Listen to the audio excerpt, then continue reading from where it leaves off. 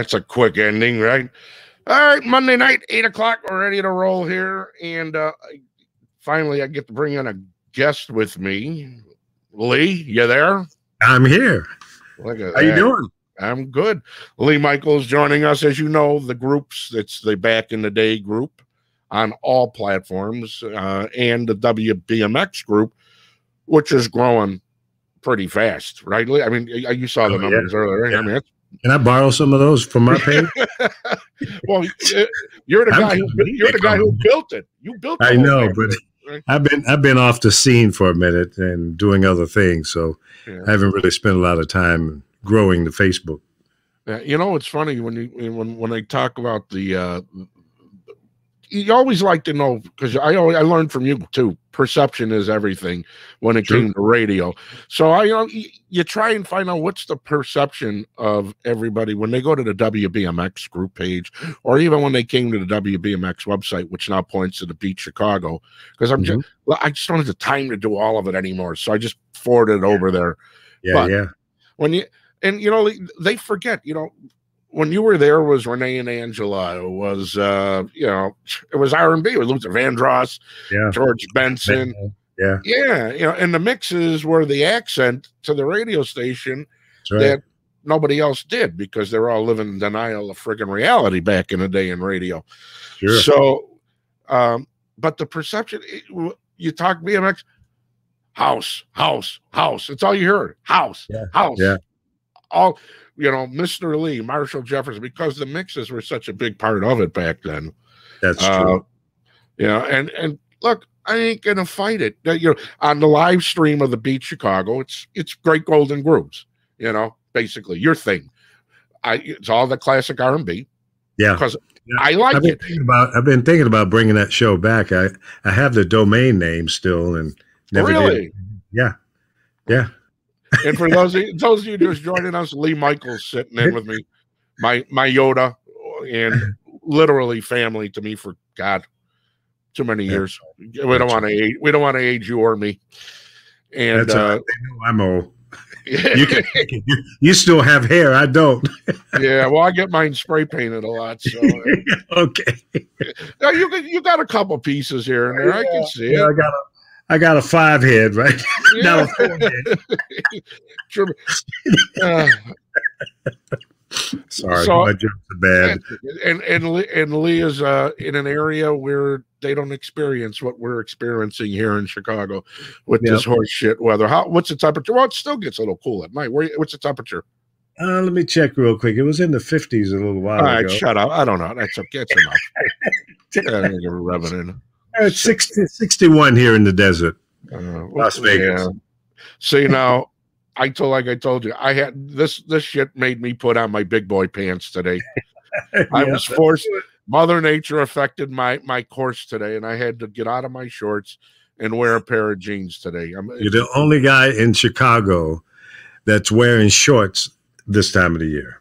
You're, It's always- you're a gorilla, man. I, I don't know how you can do it. It doesn't bother me too much, you know. But when it gets, you know, when there's snow on the ground and you got to walk through that stuff, Yeah, yeah. yeah, and it's not fun. Then I'm gonna need my big boy pants. But I refuse to wear. Remember them galoshes? Remember galoshes back in the day, ugly things with like. Hey, did you ever? Speaking of my, I had a pair of ski boat ski boots once. Did you ever ski? Oh yeah. Oh, definite. You Yeah. skied? I- Did you? Yeah. Yeah. I I had used a, to go out to uh, Colorado and Utah, and on the a short weekend we'd go up to Wisconsin and ski.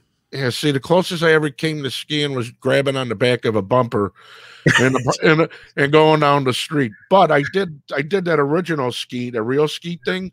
Yep. Uh, back it was New Year's Day of '86, and I went to Flagstaff, and they had a joint there called Snowbowl, or I think it was called Snowbowl. So I had never skied in my life before. I'm, I'm thinking, you know, I water skied. That was easy. So how I never complicated? tried that. Oh, water skiing was a breeze. I had no problem. That's why I equated water skiing with you know skiing. I figured, okay, how, how complicated could this thing be?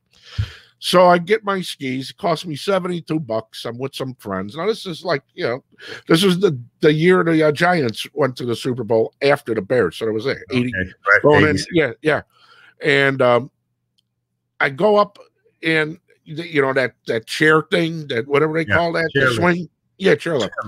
Yeah. So you're going up, and as you're going up, you see different levels, and it has a sign, you know, three thousand feet, blah blah blah. So I figure, you know, look, I'm not, I'm not going to be a pansy. I'm going all the way to the top.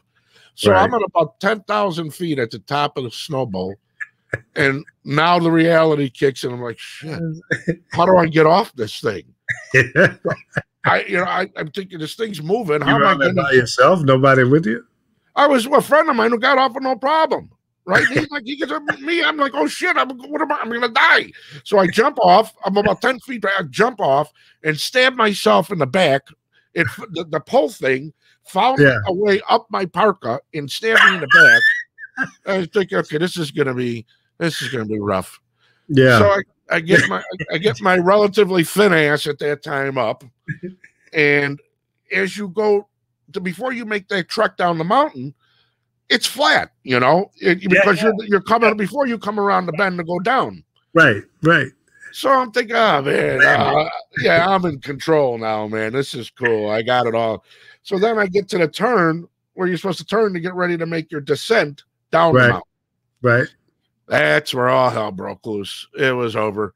I uh, I had fallen down the first thousand feet for about 40 minutes. Just kept tumbling and tumbling. And, and, and then I'd get up and I was like, "You son, I can't believe it." And then I, you, one of the, they had like it, little instructors, you know, little dudes. They're like, "Sir, have you ever skied before?" I'm like, "What is it? A trick question? You smart ass." no, I've never skied before. And he says, Well, you know, you got a snowplow. And I'm thinking snowplow, and I'm looking like, wait, minute. Now I'm gonna get hit by a snowplow, right? No, but snowplow, I guess, is when you throw your skis Yeah, together. yeah. like You, you point So- your, your skis in the front and kind Yeah. of angle it into the snow. I figure, okay, let's get that a shit. I do that, I go flying right into a tree. I, I thought it did and right in the so finally I said, you know what? Uh, It's exactly what I did. I undid the galash ski boot thing. The ski boots. threw the skis over my shoulders, held it, to, and and the guy, another ski says, "Sir, would you like us to drive you down, or do you need help?" And there's like little five year old kids doing 50 miles an hour past me. What am I gonna say? Yes, I'm scared. Help me! No. Oh my God. I What a walked story. Yeah, I walk down and guess who I wind up with? I go to the lodge. Right, they're sitting in the lodge. Right, my friends are all having fun. They're up and down the mountain, you know, four or five times. I go find the only guy from New York in all of Flagstaff. He was a Giants fan, so we sat there and bullshitted for like three, four hours. Got oh knocked out, blind drunk, talking Right. football, and you know, you start talking food with me. Um, Right, right. It, it's over. and we we had a vehement, a huge disagreement over what real pizza is. You know, Yeah. he was he's one of them guys that was into those real big pieces. You know, Yeah, It's yeah, like, there- there- you don't need that kind of negativity in your life. That's just yeah, he met the wrong guy when it comes to talking Uh, food and pizza, especially. so you skied in Colorado too, huh? Yeah, yeah, yeah. Wow. Colorado, Utah. Uh, where else? Um, Wisconsin. Did you take lessons? No, you know, I'm an idiot. No, you know, well, yeah, on the Bunny Run on what was that little ski place right on um uh 80, 80, 83 out in like Bolingbrook, Naperville. There used to be a little bunny hill over there, off to the right, I don't know. going towards 55 on Route 83. It was a, like a, a apartment complex right next to it. But anyway, I went there first. I mean, over by the um, over by the uh, Right behind- Santa right Fe used to be. Yeah, Up by- in that area. you know, Yeah. I, I I don't remember. I, I wasn't an avid ski guy. so I went there for like a day and I, I had fun. It was fun. So I went went to the sporting goods place and bought skis, boots, the, the whole outfit, the goggles, the poles, and everything. Mhm. And I was a professional skier after that, at least in my mind. And then so, we you- went, so you took one or two lessons and you were already a professional skier. oh yeah, absolutely, yeah, yeah. Okay. Yeah. You can believe what you want to believe. You- Sometimes you got to bullshit yourself, right? Yeah, sure. We went up to uh, Breckenridge and uh, what was some of the other ski places? Uh, went up to Vail Yeah, we I hit some some. Oh, Vail. That's like there's no there's no peasants anywhere near Vail, right? other, other than the servants, right? Yeah, yeah. Well, you know, just Remember that scene, like that scene in Just Visiting? One of my favorite scenes in the movie Just Visiting. The peasants sitting, eating in in a restaurant, this really fancy restaurant, right? and and his his uh nobleman starts throwing fat at him in the restaurant, and the server walks up and says, "Sir, he cannot." You can't have him sit there. He has to eat, eat at the table.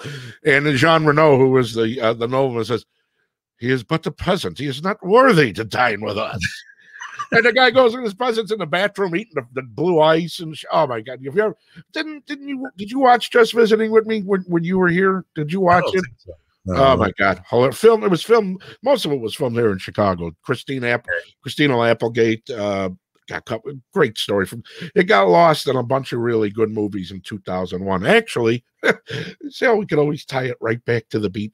The movie's Yeah, also on the, the beatchicago.com uh, when you go to that free movies section.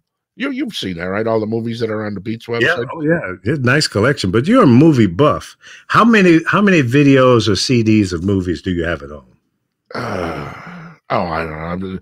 Yeah, it's a shame now because the DVDs are pointless. You know, there's probably about 18, 1900 DVDs. At least half of them never got opened. And, you know, last, was it like two, last year? last year or two years ago? Was it, no, the last year I was a voting member for the awards. So what they do, um, if you're a SAG member and you're a voting member, um, they send you out all this insane promo shit right, Mm. of all the shows, all the movies, and then on top of that, they send you um, free, uh, like a month or two month subscription to Hulu, Netflix, blah blah blah, all this other stuff because they want your Yeah. votes. Catch up, yeah, right. So they're paying you to watch this stuff, and you know. Then I got here. Hang on, let me pull something. I'll show you.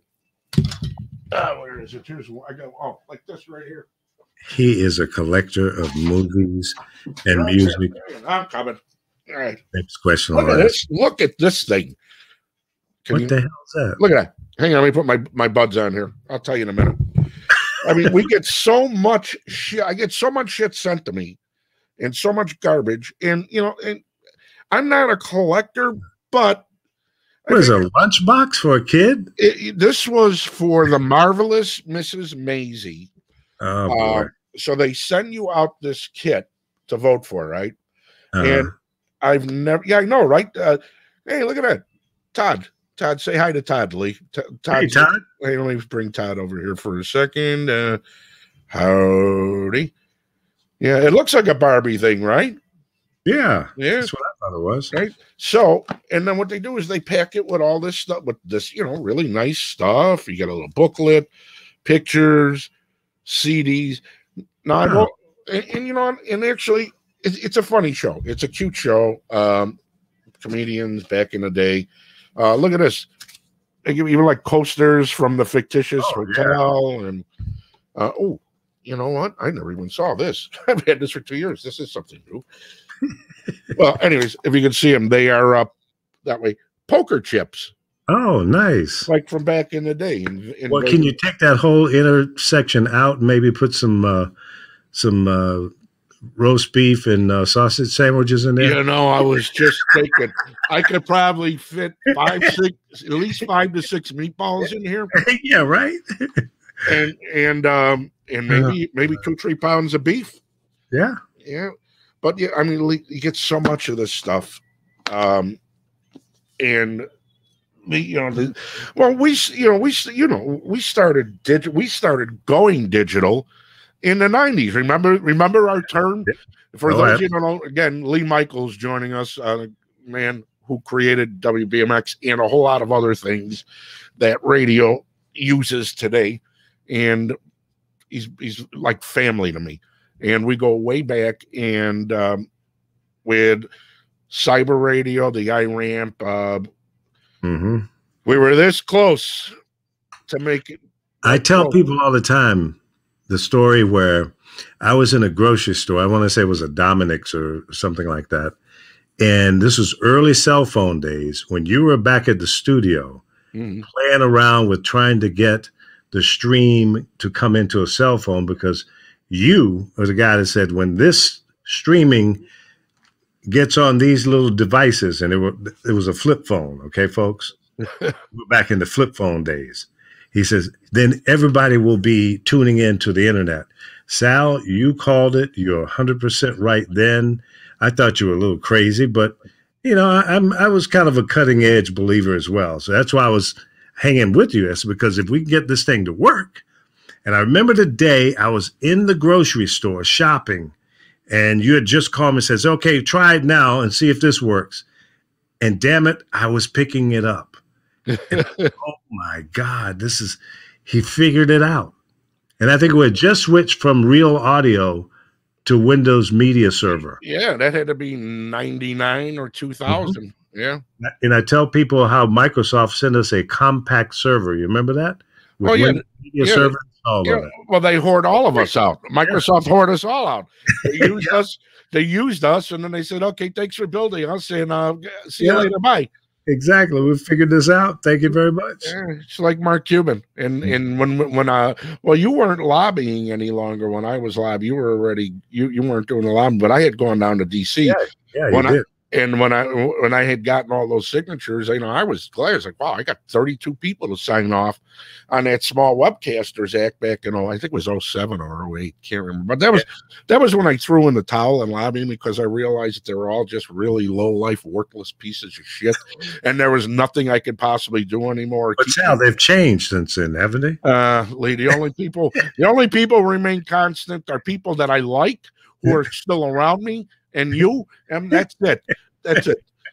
But you mean all those members of Congress that you met back in the day? They're still a, they're, they're, still a piece of shit, or what? Oh God! And they're still there. They're still there, and they're still making more money than me and you, and better pensions than me and you. And that's what's scary, based yeah. on the salary that they're making. Yeah. Anyway, I make more money than they did. Yeah. When they come out of there, whether they get thrown out or retire, they walk out with 100 million, 50 million, 30 million dollars in the bank. Tell me how that works. They're they're set for life because how, how do you do that off 180 to 200,000 a year? I don't know. I don't know. I I, I honest to God, please, my blood's gonna get flowing. I'm gonna have an anger management issue. So no, yeah, I've been really good. I can't drag you into that corner. Nah, I learned. I, I, I learned, man. I learned. You know, You'll be in Facebook jail in 20 yeah, minutes. Yeah. Yeah. Yeah. It's better for me to just go punch a heavy bag and get it all out. Then, but uh, anyways, so back to that. We were this close. Yeah. Um, and then Mark Cuban came along and screwed everybody. Yeah, he did. Mark Broadcast.com didn't, didn't give us. We had more traffic than him. That's right that stunt that he pulled. Uh, it's why every time I see this guy on TV, it's like if you only knew what a piece of shit this maggot really was.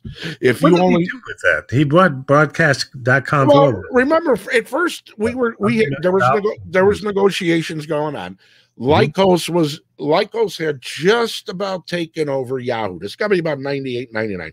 Yahoo was still using Google as its uh a lot of people forgot Google was the search engine for Yahoo at the time. Mm-hmm. So Yahoo was petrified, or Yahoo was petrified that Lycos was about to take over the number one position for search engines.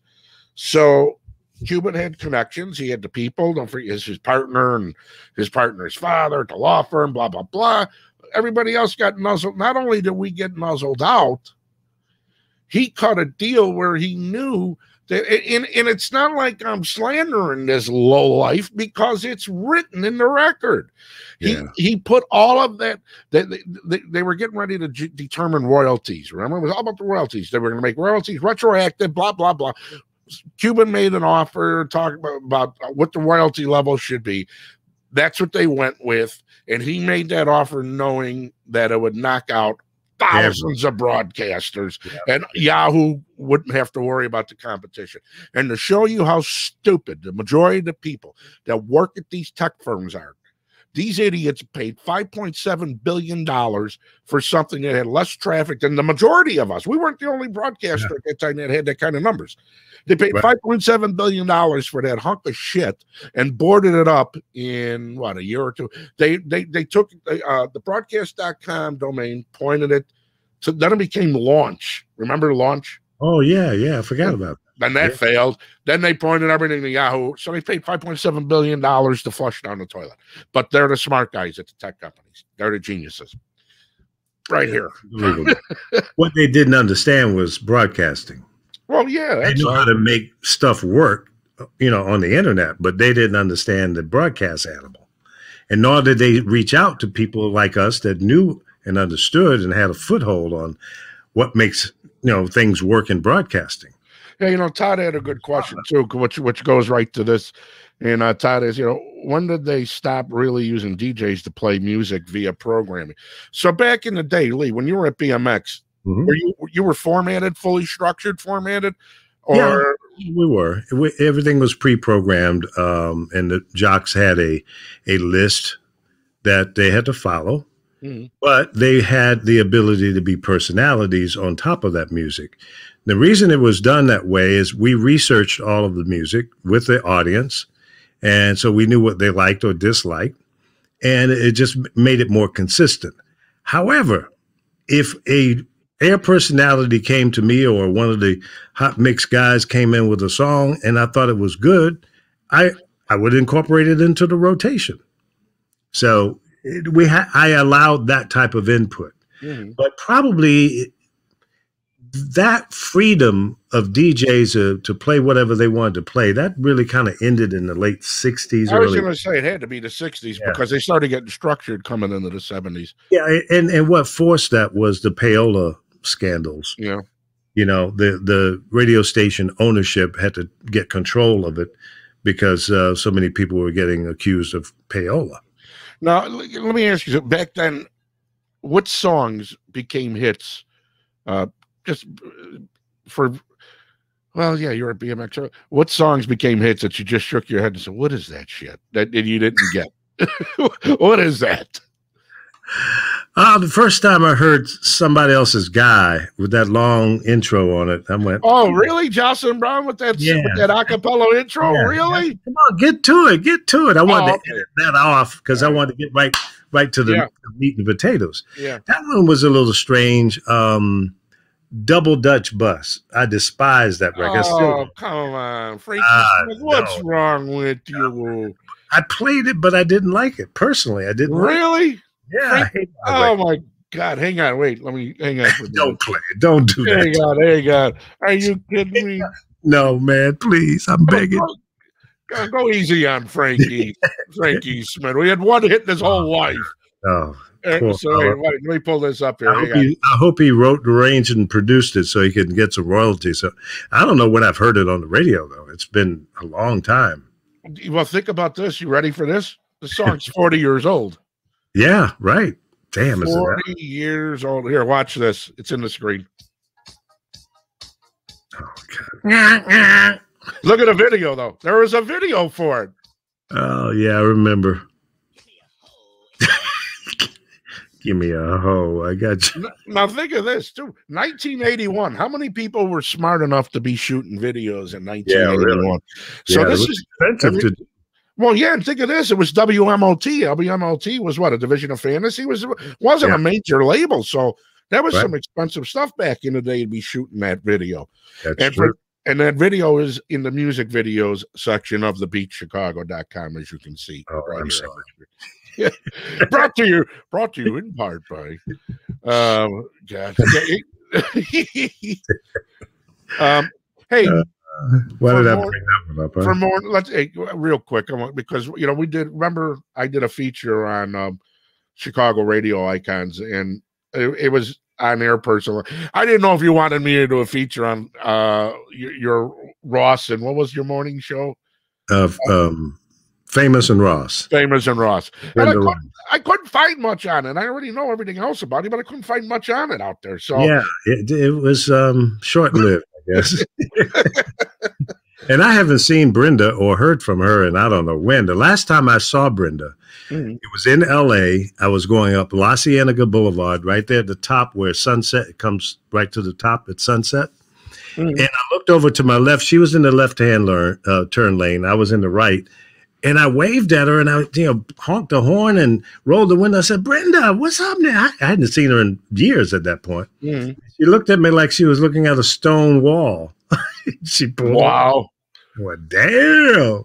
Did I do something to upset you or what? But think about that. How weird is it? We're in a completely different part of the planet. Yeah. With all the square footage of this planet, you happen to see that same person in that spot. Yeah. I, I guess who knew? Yeah. Who would who would have thunk it, right? right. Exactly. And I haven't seen or heard anything about her since. then. really. But you know, for Doug, when Oh, you brought, how did you bring Doug? When you brought Doug Banks to Chicago, a lot of Doug started at BMX, then wound up, and I I found a great video that we put up in that feature that we did Mhm. uh, on the beat because there was a killer video with him and Tom um, um, when they were at GCI though. okay. Uh, but for BMX, and, and those of you you can see in the screenshot here, uh, you just do a search for Doug Banks, you'll find the special that we did on the beat Chicago. Um, a lot of look at that. Remember Natalie? Oh, yeah. Uh, Gary Deeb. Remember Oh, that yeah. Absolutely. Feeder still bald. Uh, what else? uh, Farley. That was that was for uh, I think Doug's birthday. So yeah, we did a nice feature. And look at those numbers. Let me tell you, the Cumes in Chicago radio today. Yeah, embarrassing, bro. Really? Embarrass, embarrass. Two stations, Cumin passed one million. That's it. Wow. Yeah, they've destroyed radio. They've made an absolute mockery out of it. Yeah, destroyed It's it. all been, you know, sliced, dice, and kicked to the side.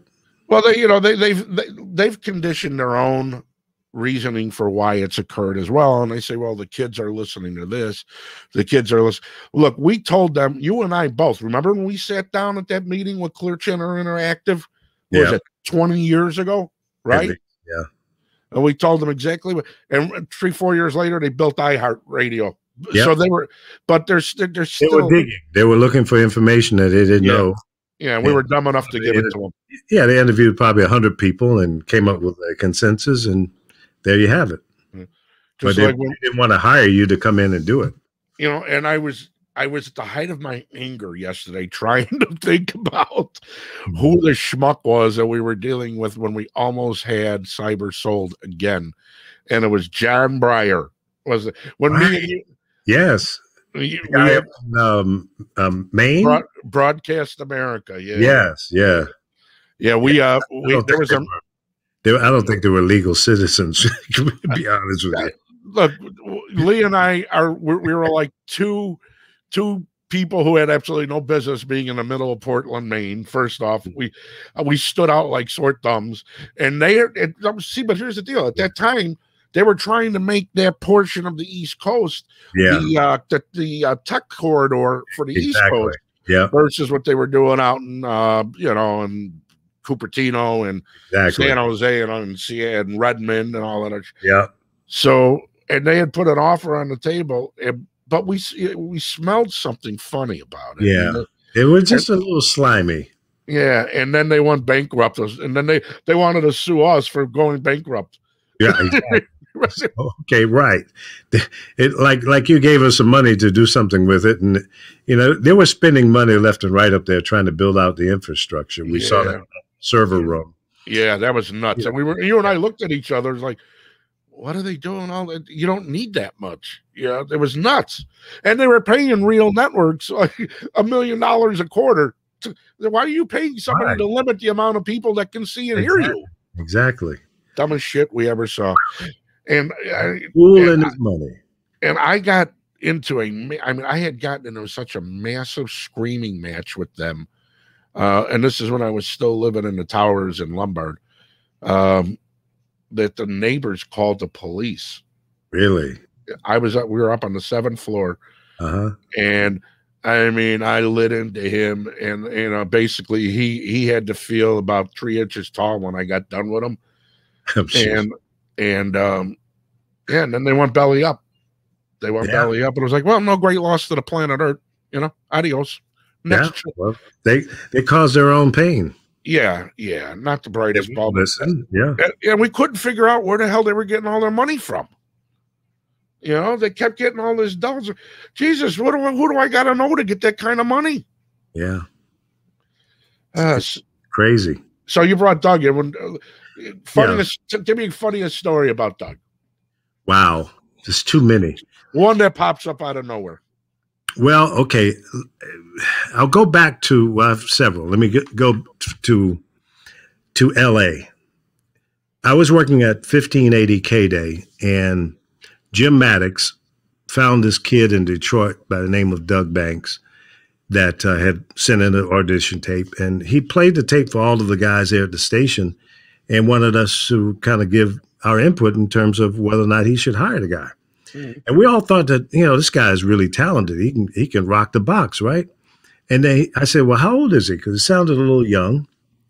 He said he's 18. I said, I was the only one that said, Jim, don't bring him to Los Angeles because you know 18 years old in the big city uh, will probably crush this guy and, and get him on the wrong track. Oh, so he was only 18. 18, yeah. Oh, yeah. And uh, so he he hired him anyway. In the meantime, I left and I came back east for another job, and I ended up replacing Doug about a year or so later because he burned burnt out. Mhm. Doug was wild and crazy. He was in the clubs and hanging out with everybody, all the stars and everything, and would miss shows. He would he wouldn't show up.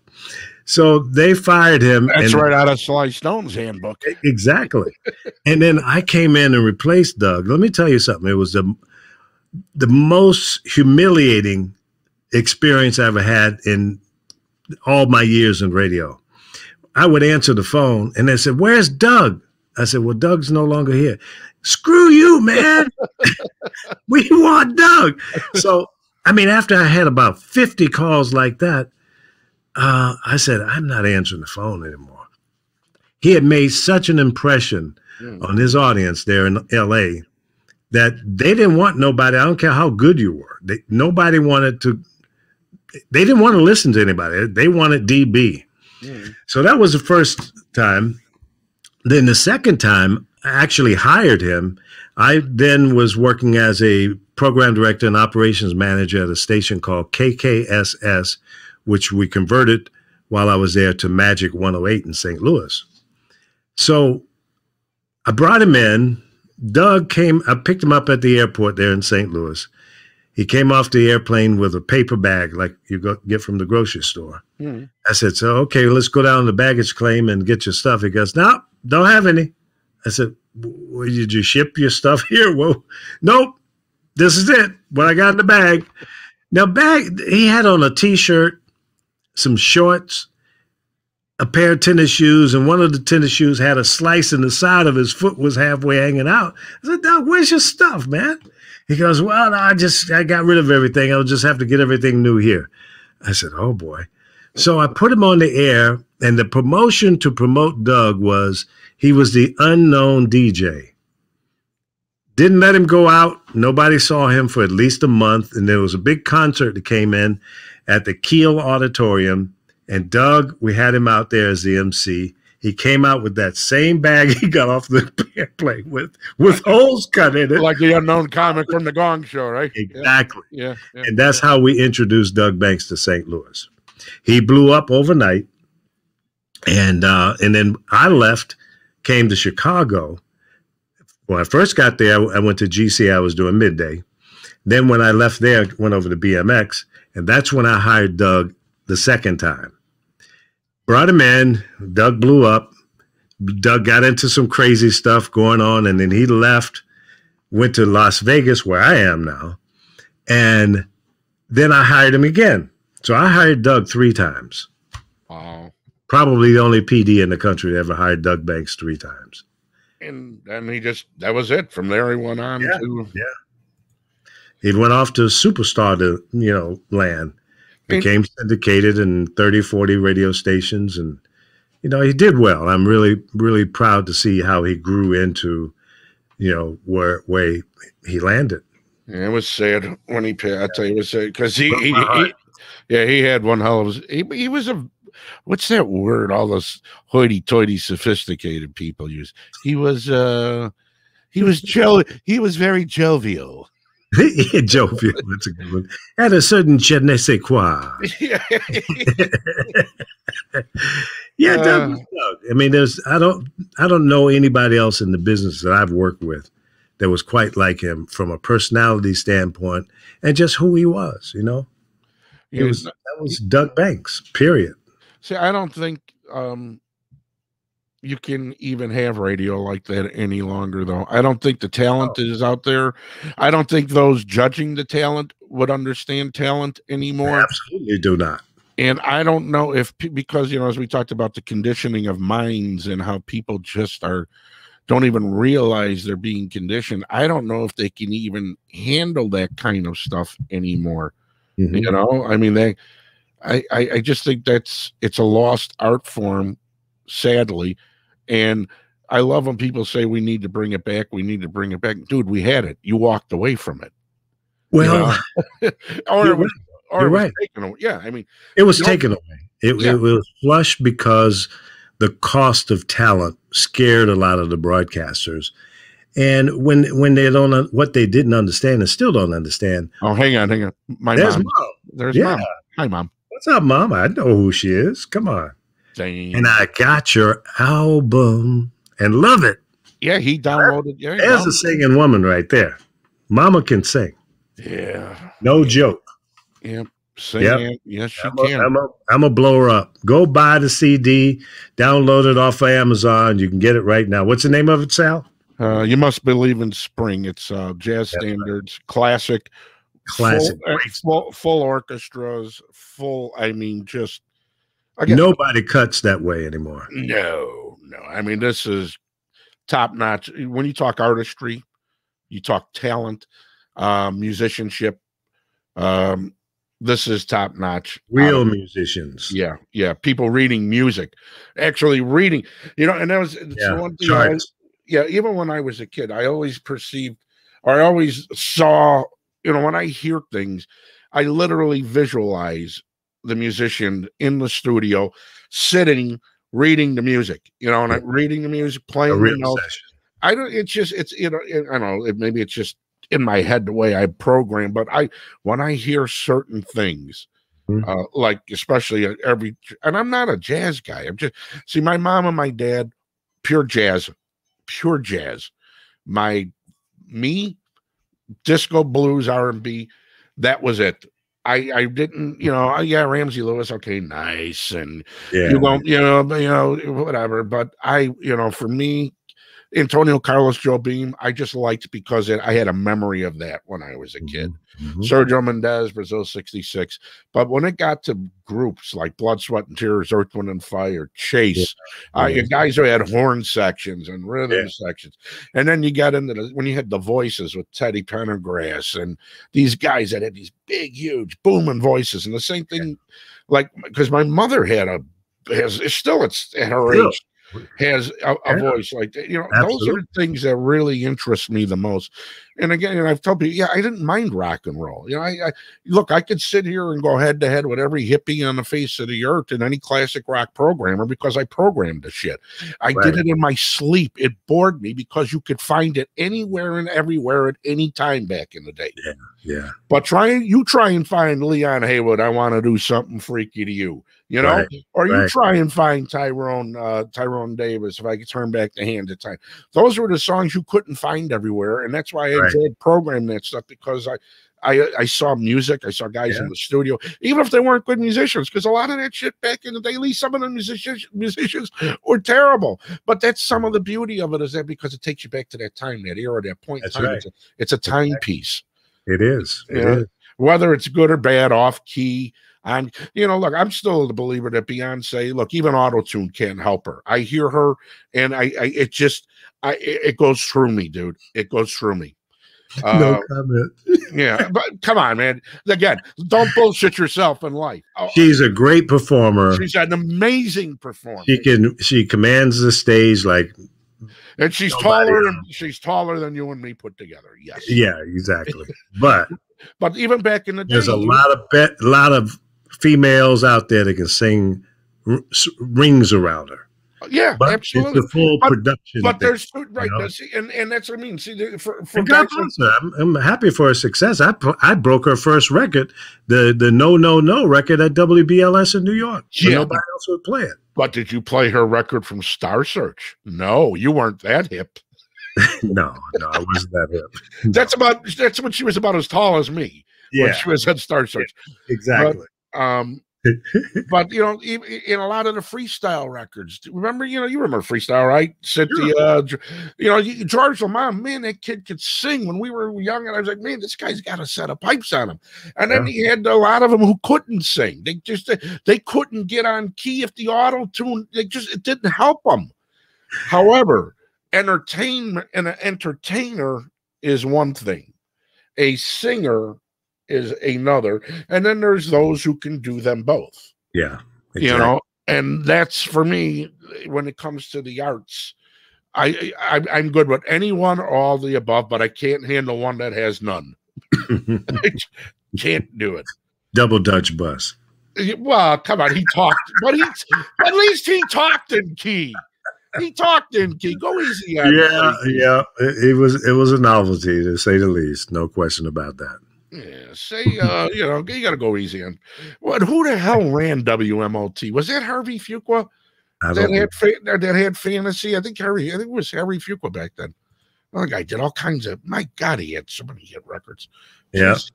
Well, you- you were dealing with Bell for a while, weren't you dealing with Thom Bell for a while way back in the day? Oh, of course. Yeah. Thom Bell and Gamble and Huff. You know the all the major you know um, Stax records. You know, I mean, Uh, if you were in R and B radio, you had to know all the head guys at all the big you know R and B companies. yeah, And- yeah. Yeah. Well, you know, when I, when my mother put it, we had uh she had Love Found Me Just in Time, which was that ballad. I think it's on the other album. And I was out doing promo. And back in the day, a lot of you know, there, there used to be a thing called record. What was your record day at BMX? Did you have record day? Um, What day- Monday- what- Mondays. So. Tuesdays became like the record day in a lot of a lot of the uh, radio stations. So I go to a bunch of different radio stations. We got some ads and everything.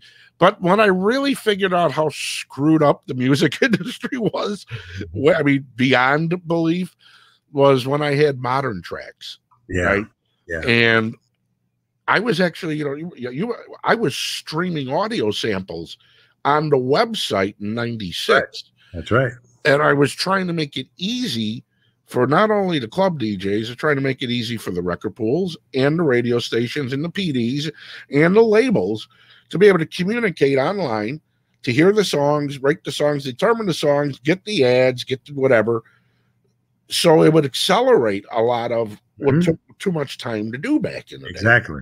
Yeah, they they were still mailing CDs back in those days, and you were ahead of your time by putting it online like that when people were still on 300 baud modems. Uh, let me see. It was 28 8. It was Oh, 95. My mom helped me, and, and I, I got a But copy. again, you were ahead of most people. But I think most people might have been on 1200 baud. that- Um, no, no, 28.8 and 95. You know, when the 1200, let's see, in 88, when I was a broker, and I had a, I used to, I was getting online to get my, my stochastic charts.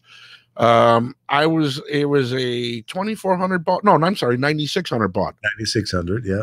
Yeah, Yeah. and I, and I had a Packard I Bell. 9600. Yeah, I had a Packard Bell. Was it right? Packard Bell. 20 it, it was just a real those were when the computers you Yeah. couldn't you couldn't take anything out of them whatever you bought that was it when Yeah. once the computer upgraded you're screwed throw it in the garbage go spend another $800 so by 95 though we were at 28.8 and then we went to that 56.6 with the v.90 baud modem remember the, Yep, the v.90 and then i had started getting high speed internet access in the office Right. uh, in the studio and um you got you had DSL, right? Well, I had DSL at first. Right. and- the and only that- person I knew that had DSL. yeah, yeah. Well, because I That was, was what 128. yeah, 128. Uh, and that was because um, we were, I was producing a show here in Chicago, and there was the first KRXS was a little rim shot station out in the middle of like Apache Junction, Arizona. God bless the guy who gave me the chance. I said, "Here's what I want to do. I'm going to broadcast on the internet. You're going to pick up the stream on your computer and broadcast it to your people on the FM." Right. And he was, "How's that going to sound?" It'll sound wonderful because remember I was I I used to stay in the office for like eight days. At least. you'd have to I mean you had to come dig me out. That's right. And Derek too got got all the Oh, work yeah, Derek yeah. did. And Oh, we would sit there and just experiment with codec after codec, setting after setting. What works? What doesn't work? How can we get this to sound? We had crystal clear audio sound at 48K.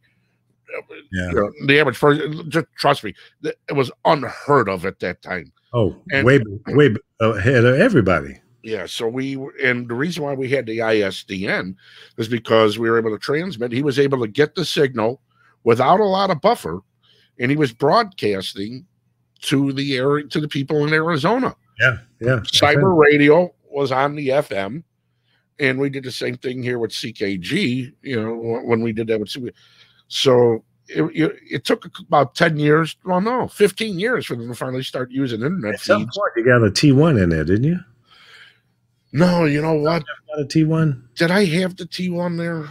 I had one for for a short period. No, no, but I did have a T1 here because when I first moved here, uh, they didn't even have high speed internet access. Yeah. Yeah. So I had a fractional, had a fractional T1. Fractional. Yeah. And and then we got high speed internet access about 02. And I was like, oh, okay, back to Now, just normal. think, just think. T1 was 1.54 megabytes. 1.4. Yeah. Yeah. And and th- that was like the cat's meow back in the day. Yeah. It was unheard of. Now. Yeah. That's I Well- mean, you, who would want a T1 anymore? Well, think about this when when like fifteen hundred dollars a month. Oh, it was insane. That- that- that- It Yeah. was insane. Well, here, you want to talk about insane? When I programmed, I was the uh, programmer for Cyber City, Taste Mhm. of Chicago. This was in 97 when we were on 92.7. And the ta- uh, taste, the people that I was doing business with, they needed somebody to handle the entire programming of Cyber City. Mhm. Cyber City was the introduction of literally the internet to the city of Chicago at the Taste of Chicago. Um, and it had a big tent, and it was in conjunction with Prodigy Internet Services, Wow, prodigy there. Me- MegsInet, who was hosting Yeah. our stuff, and a bunch of other companies. And um, I got, yeah, I had scheduled interviews. I had Herb Kent. We had, uh, I mean, anybody in the industry just that I could fill up. And at that time, we, I was told that we had set the record for the um, longest and the biggest stream, continuous stream. I mean, there was like 700,000 people watching these streams Wow. back in 97 now our in, in order to accomp- to to accommodate all of that um internet business district was the company which uh turned out to be real pieces of shit. Anyways sorry. Just you, you know how my mind works. Things pop right in. Anyways they had negotiated a deal with um i forgot who it was where we had a wireless t3 internet access to the top of the pru uh, to the top of the pru uh prudential building Right. so right. from where That's we right. are I forgot shooting up, Yeah. we had a wireless t3 connection and it was $45000 a day Wow. now now this little thing right here Blows that away. Yes, that's how expensive internet was back in the day. Just That's like right. think, just like your cell phones. Think about the cell phone. Remember, we used to get billed by the minute. And what the best part of your cell phone bill was, hey, from six oh five to six twelve. Those are my off peak hours. When it's only fifty cents a minute to talk. Right. They gave right. you like four minutes during the day to hit Exactly. the off peak. Yeah. People don't have Suckers we were, we jumped on it and we used Ah, it. My first phone bill was it seven hundred? I can't remember. I think it was like seven hundred dollars. I, I think my first one was eleven hundred. Yeah, I said, "Oh my god, I'm an asshole. I'm screwed." but a car payment. Yeah, house payment. Yeah, you know. Let's get to some of the posts real quick here, so we can roll. Uh, some of the big posts that were in the BMX group. Again, talking with Lee Michaels, WBMX. Anytime you guys listen to mixes, thank him. He was the one who made it happen. Say hi again, Lee. Hmm. Hi Well, I there. mean, you, had to, you had to be smart enough to do it because nobody else wanted to do it. Yeah, Yeah. I got tired of going toe to toe with WGCI. So I said, well, I need to find something a little bit different that would, I didn't think that they would follow me on. And I was absolutely right. I think it was almost two years before they s- started playing mixes on GCI. Well, they only did It wasn't that. quite that long, but it seemed Yeah, like forever. Yeah, well, they did that when um I think when you left, and then Mickey and Kenny and Farley went over to GCI and they left Frankie stranded.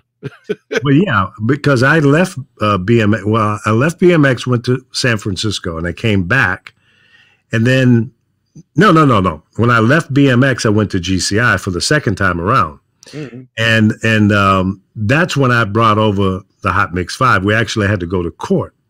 There was a court case. Oh yeah, that's right. And there was just Yeah. a brief period of time left on the Yeah. contract. Right, right. Exactly.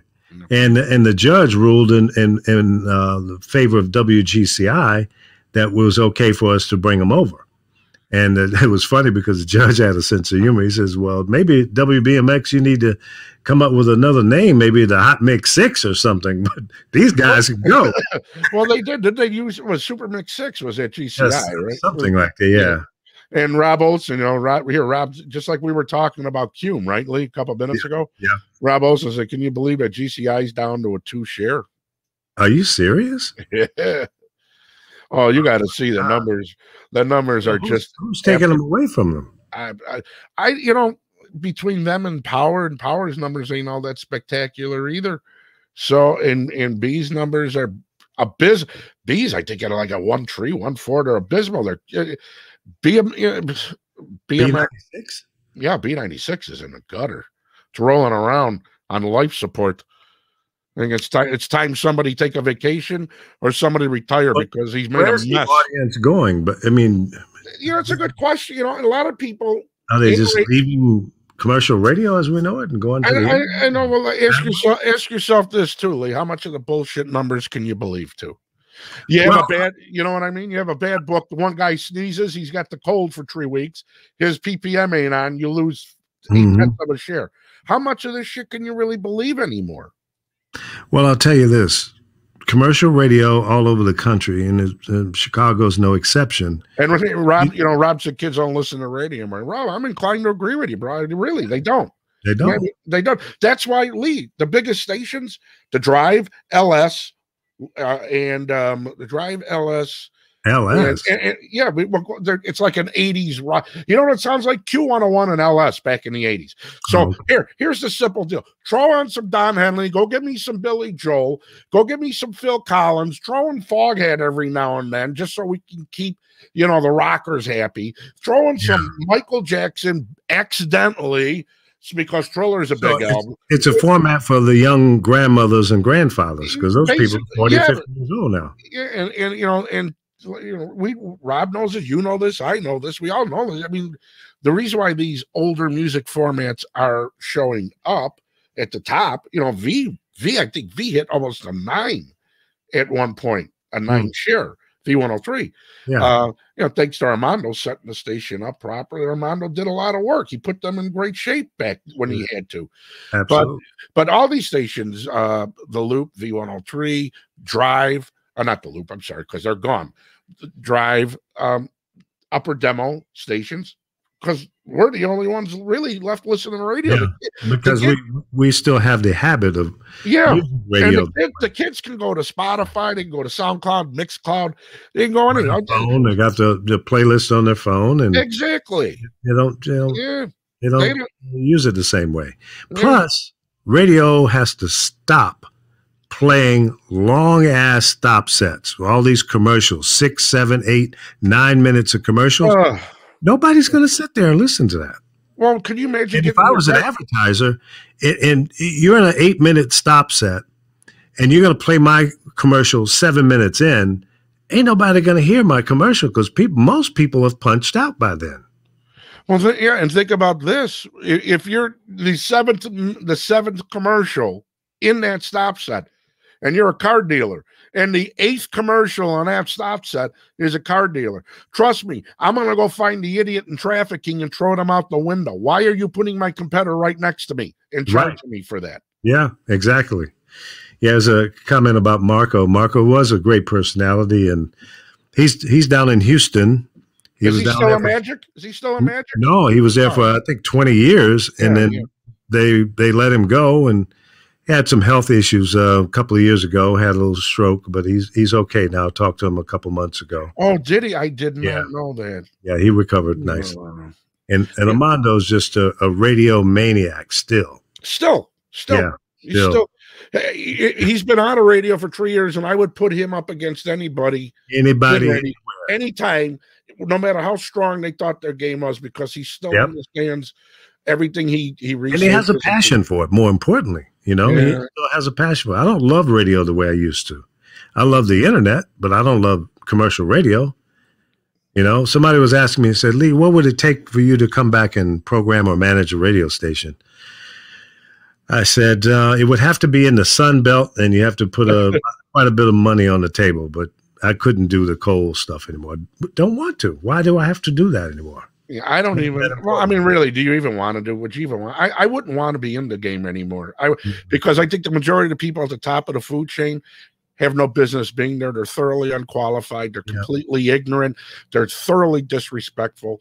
Yeah. They're they're all there because they're plugged in by a lot of people that know a lot of people who protect their own circle of idiots, and the numbers show it. And and they're weeding, and eventually they're all going to eat themselves. That's why I've I've always been comfortable. I have never had to kiss anyone's ass. I have never had to apologize to anybody in that industry for who I am, what I do, what I think. Because I've been right, they've been wrong. They can all kiss my ass, and I know you felt the same way a lot about it too. It's just yeah. You, you can't i argue truth and reality. You want to argue fantasy, then you go argue mm-hmm. fantasy. I'm not obligated to take part in that psychosis with people. Yeah. You know, this is the reality, whether you want to acknowledge it or not. A lot of people had an issue with that. So I didn't have to deal with them, and they don't have to deal with me. It's called an impasse. Good luck. Have a good good life. Move yeah. on and keep going. That's it. Yeah, my position has always been I don't own the station. I'm here to do a job. I'm gonna do it to the best of my ability. I'm, you know, gonna be respectful and come in every day and do a, a, great job. Now, if that's not good enough for you, and more important, when when we're sitting in the in the conference room and we're making major business decisions about the growth or the possibility of doing something new and different in your eh, for your radio station, and you turn it down and go in a completely different direction and it fails miserably and you spend several million dollars on a failure, don't come back to me and say, Well, why didn't you tell me? Well, I did. I told you don't do that. And I gave you all the reasons why, and you did it anyway. So suck it up and live with it. That you that's a decision that you made. And most of those decisions are made at the corporate level of people who don't understand the broadcast business. Because in most cases, never been on the radio themselves, never came up the the the the uh, road the way most of us did, and they didn't have the passion for it. They saw it from a bottom line standpoint only, and I certainly understand that.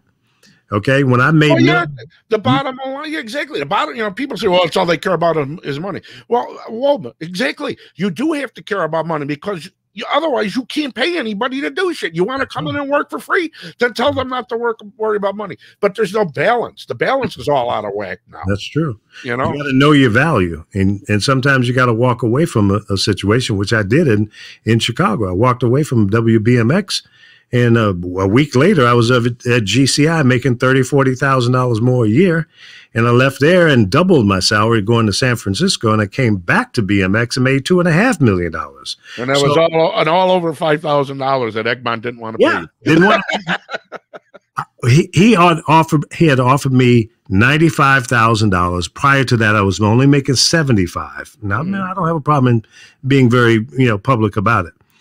We were at ninety five thousand. I said, Egmont, I need five thousand dollars more it's general principle with me. I think this job is worth at least a hundred grand plus plus twenty-five thousand dollars per bo- bonus if I hit the numbers, and that's my number. That's what I want.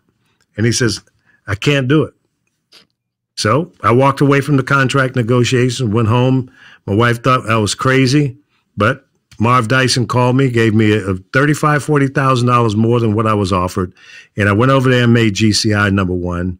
Left there, went to KMEL and made 150, 250 or something like that at KMEL. Left there and came back to BMX. A guy that wouldn't give me five grand gave me two and a half million dollars to come back. So Yeah, you got to know your worth. You got to know when to fold and walk away from a bad situation, and get people to respect you for what you do.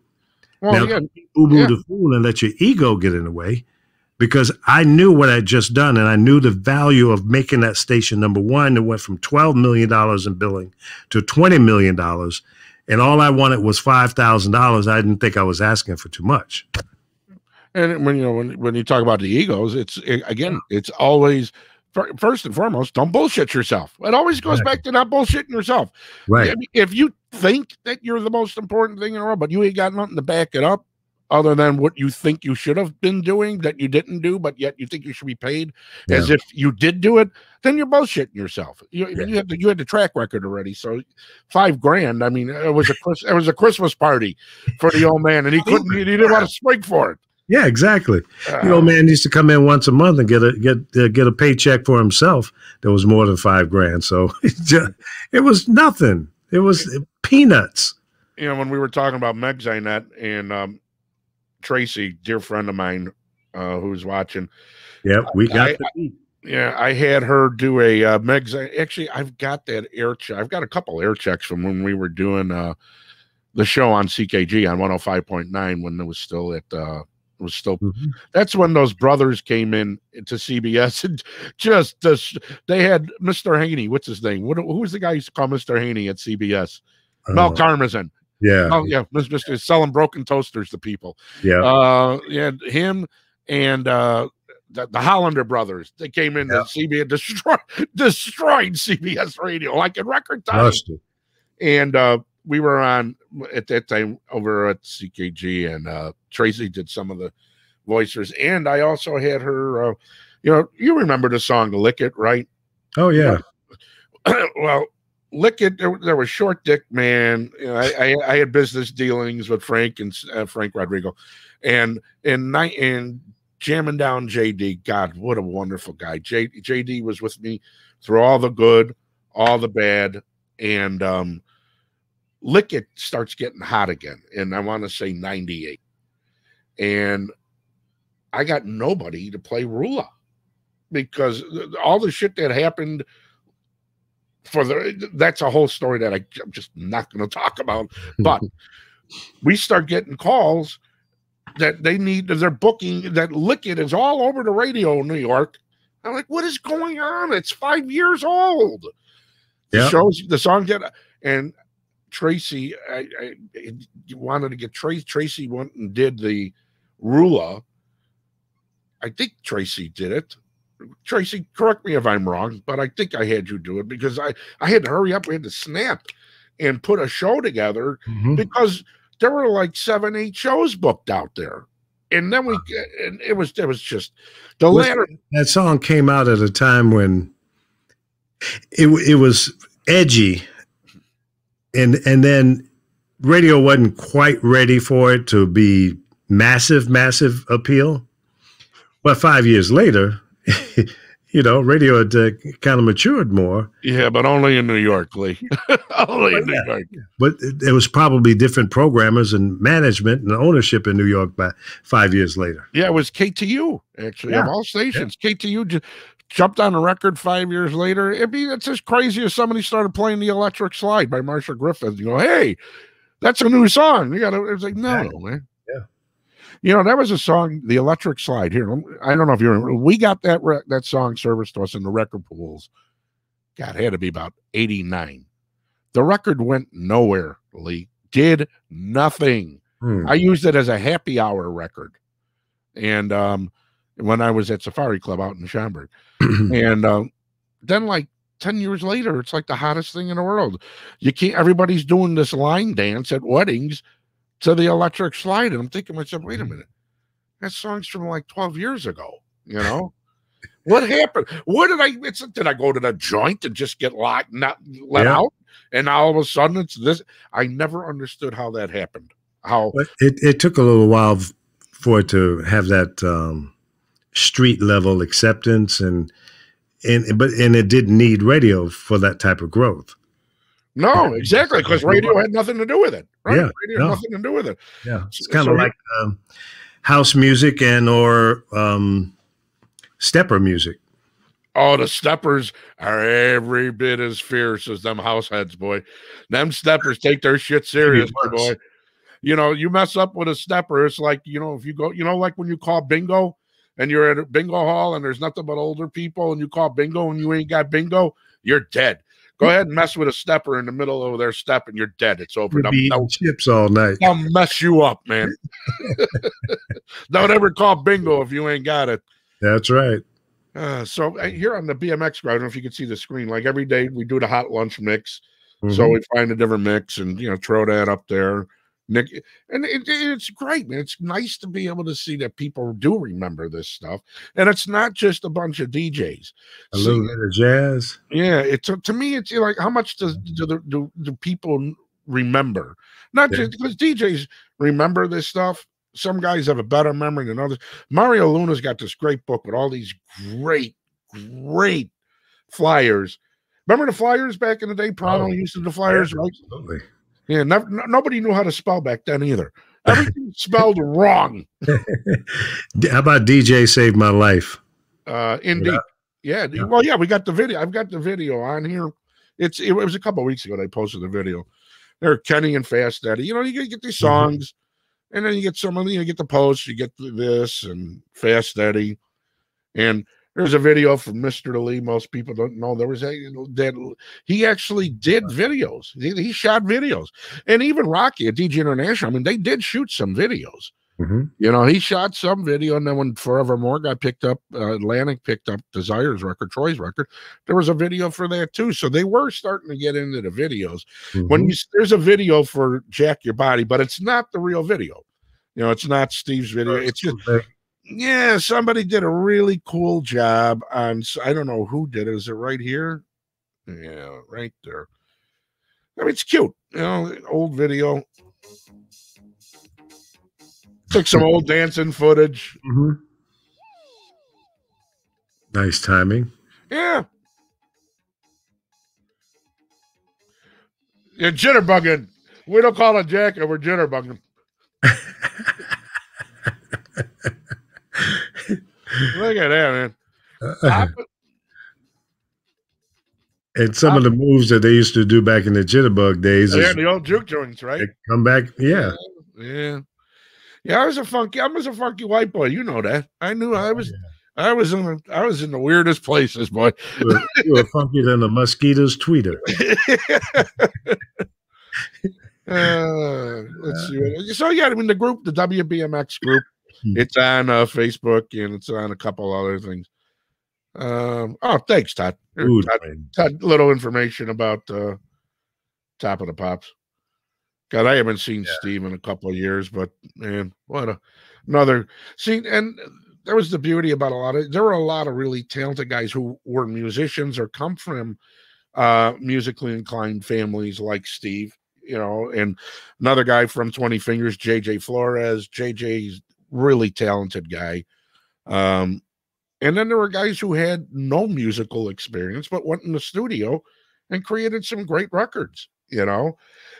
When it was the house, as far as the house was concerned, it was about creating music for us to spin that had intros and outros in the club because a lot of shit, you know, even back in 80, 81, when you started running the mixes, even before the Hot Mix 5 and you were just running mixes, a lot of mm-hmm. that shit wasn't the easiest stuff to mix. I mean, Secret Weapon, mm-hmm. AM, FM, You Are the One, Xavier worked that sucker to death, you know, all that stuff was real drummers. Yeah, None of them, none of them could keep a sync- syncopated beat. Yeah. exactly. So it, it was, you know, Heaven and Earth, I Really Love You, another great record, right?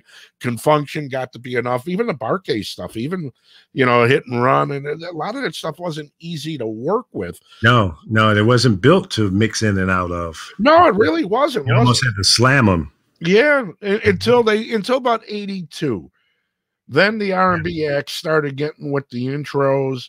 Like Yeah. they, they did that eight minute version of "She Talks to Me with Her Body." Yep. Um, my, they started hiring guys that are were mixed DJs to do remixes, and that's what kind of yeah, yeah, changed the game. yeah. Because the disco, the disco, you know, the disco stuff had intros, had breaks, but a Mhm. lot of the problem even back then is again, if you got a 13 minute version of a record, the drummer, you know, he's half drunk seven minutes through the song. He can't keep the beat. Exactly. Yeah. Celebration was the one example. It started about 118, went to 124, came back down to 115 BPMs. He was all over the place. Yeah, man. no- they were partying. Oh, I hated that song. Oh, what you know? Here's it. I was mean working You mean the the the the uh the white boy the uh, white national, national anthem. anthem? Oh my god, dude! I, every wedding, I I would purposely know. I, stopped doing weddings because of that song. I know. I know. I, refused to do any more weddings because I actually did mobiles. We were doing mobiles in 80, 81, 82. I Mhm. got I was thorough totally against labor, first off. Totally against labor. And there was too much labor involved in that. And, Yeah. I, and the people didn't want I, I believe if you do labor, you should be paid an exorbitant sum of money. And people didn't want to pay that. So I wasn't willing to do it.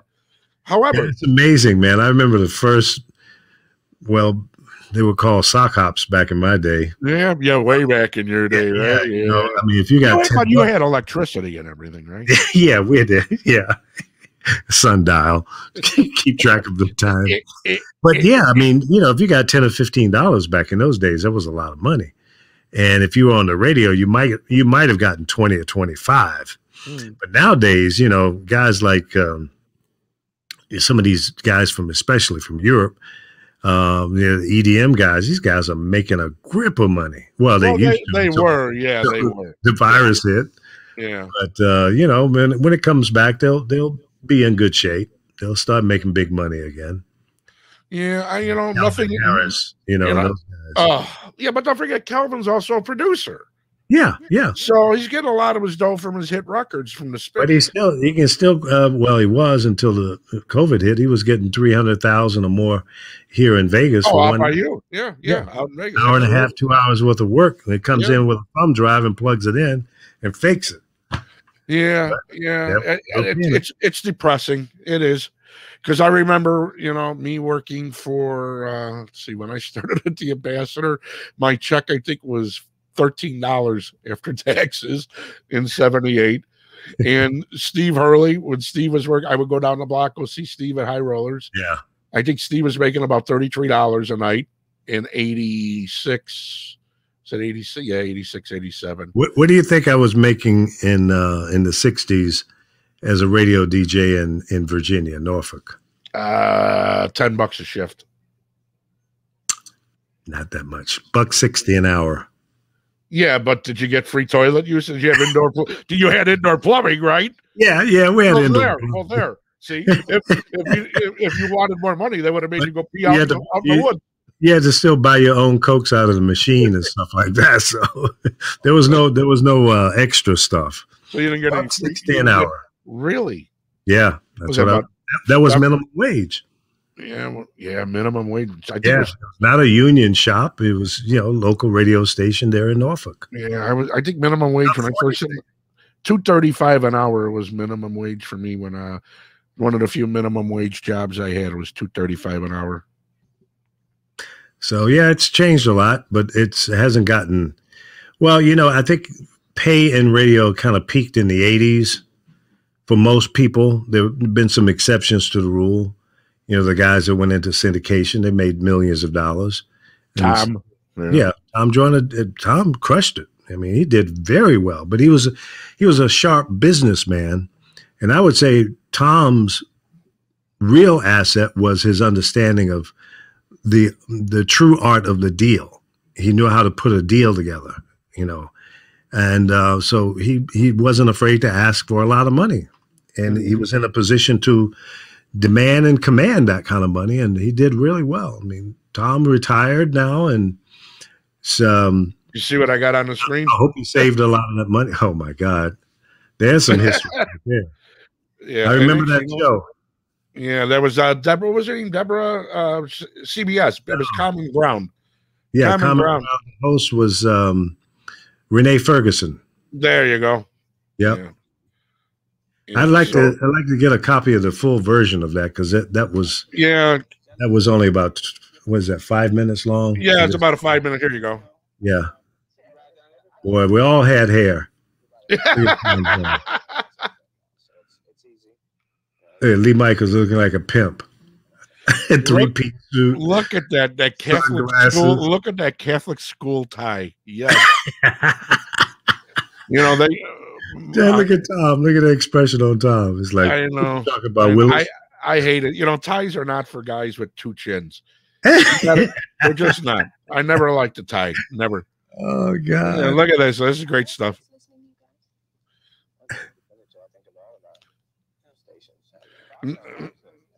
now where is Bobby? Hang on.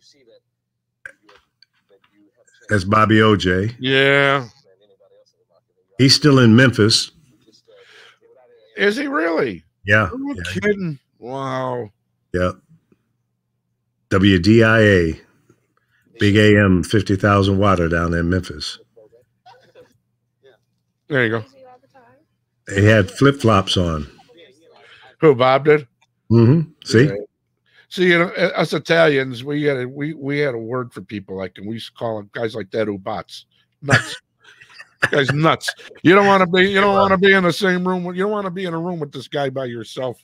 Yeah. Not, not all there, but my God, he was funny in the mornings. Yeah, he was a character. He really And was. you know what? I mean, really, when you think about back in the day, when you had, I mean, you had a great air staff. You had Veronique, you had Marco, uh, and then and you had people bouncing in and out and in and out. And um, but I mean, the core, Marco and Veronique, and then Doug in the mornings. Yep.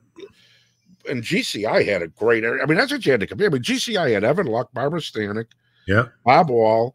I mean, and then out of nowhere, they come in and they bring Tom uh, Tom Joyner in doing the afternoons. You know Yeah. and like you say, I think we were, I don't know, Lee. I think we were able to be more intelligent and grasp more back then because the pace of life today is so accelerated. Our lives, our life today is everything is so accelerated. Yvonne Daniels, yeah, Rob mentions Yvonne Daniels, God love her. Yeah. Uh, but I think our, our our pace of life is so accelerated. I don't, you know, it's great. I, you know how I am. I don't live in the past, but I cherish it. You know, Yeah, you have respect for it because Yeah. it, was, it was great, great stuff, great talent. People, And- real radio people back in yeah. And I just don't know I if we're sorry. equipped. I, yeah, I don't know if we're equipped uh, because of how we've been conditioned, programmed uh, to live our lives today. If any of that could ever work again, it, it just I, I just don't think it will, and it's I a shame. so either in in the in the AM FM mode.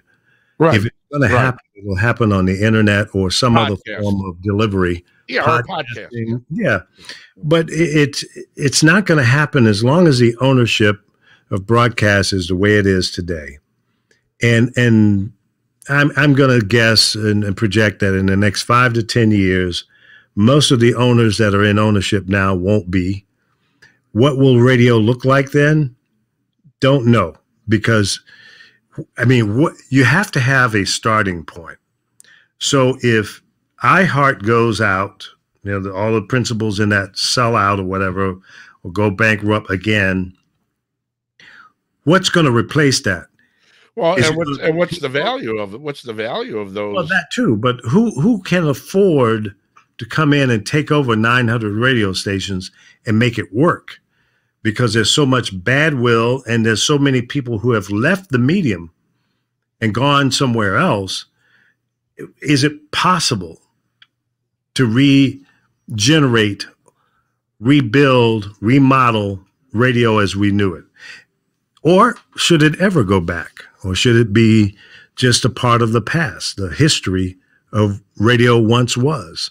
I think you have great memories of it, and you move on from there. Is Yeah. you know, you Yeah, know, point. yeah, radio radio will have its its point, its place, but uh, you know, a lot of the problem is like we said twenty years ago. Why are you spending so much money on this thing? Yeah. A I hundred. remember, Yeah.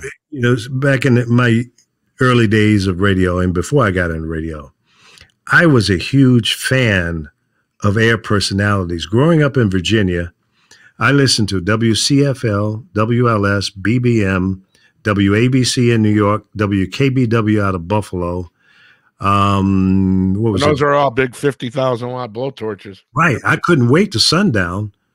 So these stations would start coming in, and by nine o'clock at night, they were like local stations. Mhm. And so I grew up on that kind of talent. And that was my inspiration. And And when that, I, was, and that was our entertainment. That was, I mean, that was every bit as entertaining as putting on a TV because they were entertaining. Yeah. and I never dreamed of ever having the opportunity to work in Chicago and New York. You know, as a kid, I mean, as that's just like heaven. I mean, that's just beyond your wildest dreams. Mhm. And and then when I got um, out west and I heard West Coast radio, I was like, wow. And then I got a chance to work in San Francisco three or four times, in LA three or four times, and working with some of the great talent out there. It was an honor, first of all, and just an amazing trip to have those opportunities. But today, a young person coming out of broadcast school or media class in a serious college or whatever, it's going to be tough, man. Not going to be. It is tough to find a job as a young person in this business. Well, there's only so many jobs you're going to be that are going to be available to you. That's the point. You know, the syndication has taken up all the jobs, and then you know, voice tracking now has taken over. You you'll you'll have a job at a radio station, but you're responsible for voice tracking another five or ten radio stations after you get off the air every day. Yeah, and they, and they'll pay you with two Twinkies, a ho ho, and a ding dong. That's about it. And you'll be thankful to, to to have that job because there's nowhere else for you to go. Yeah, and that's uh, like if you remember twenty something years ago, what did I say? This is where it's at. Everything is going to wind up here because that's the natural progression of how humans work. We progress, we move forward. We don't go backwards. We Mhm. progress. The Mhm. internet was the only, and the next progression is the matrix.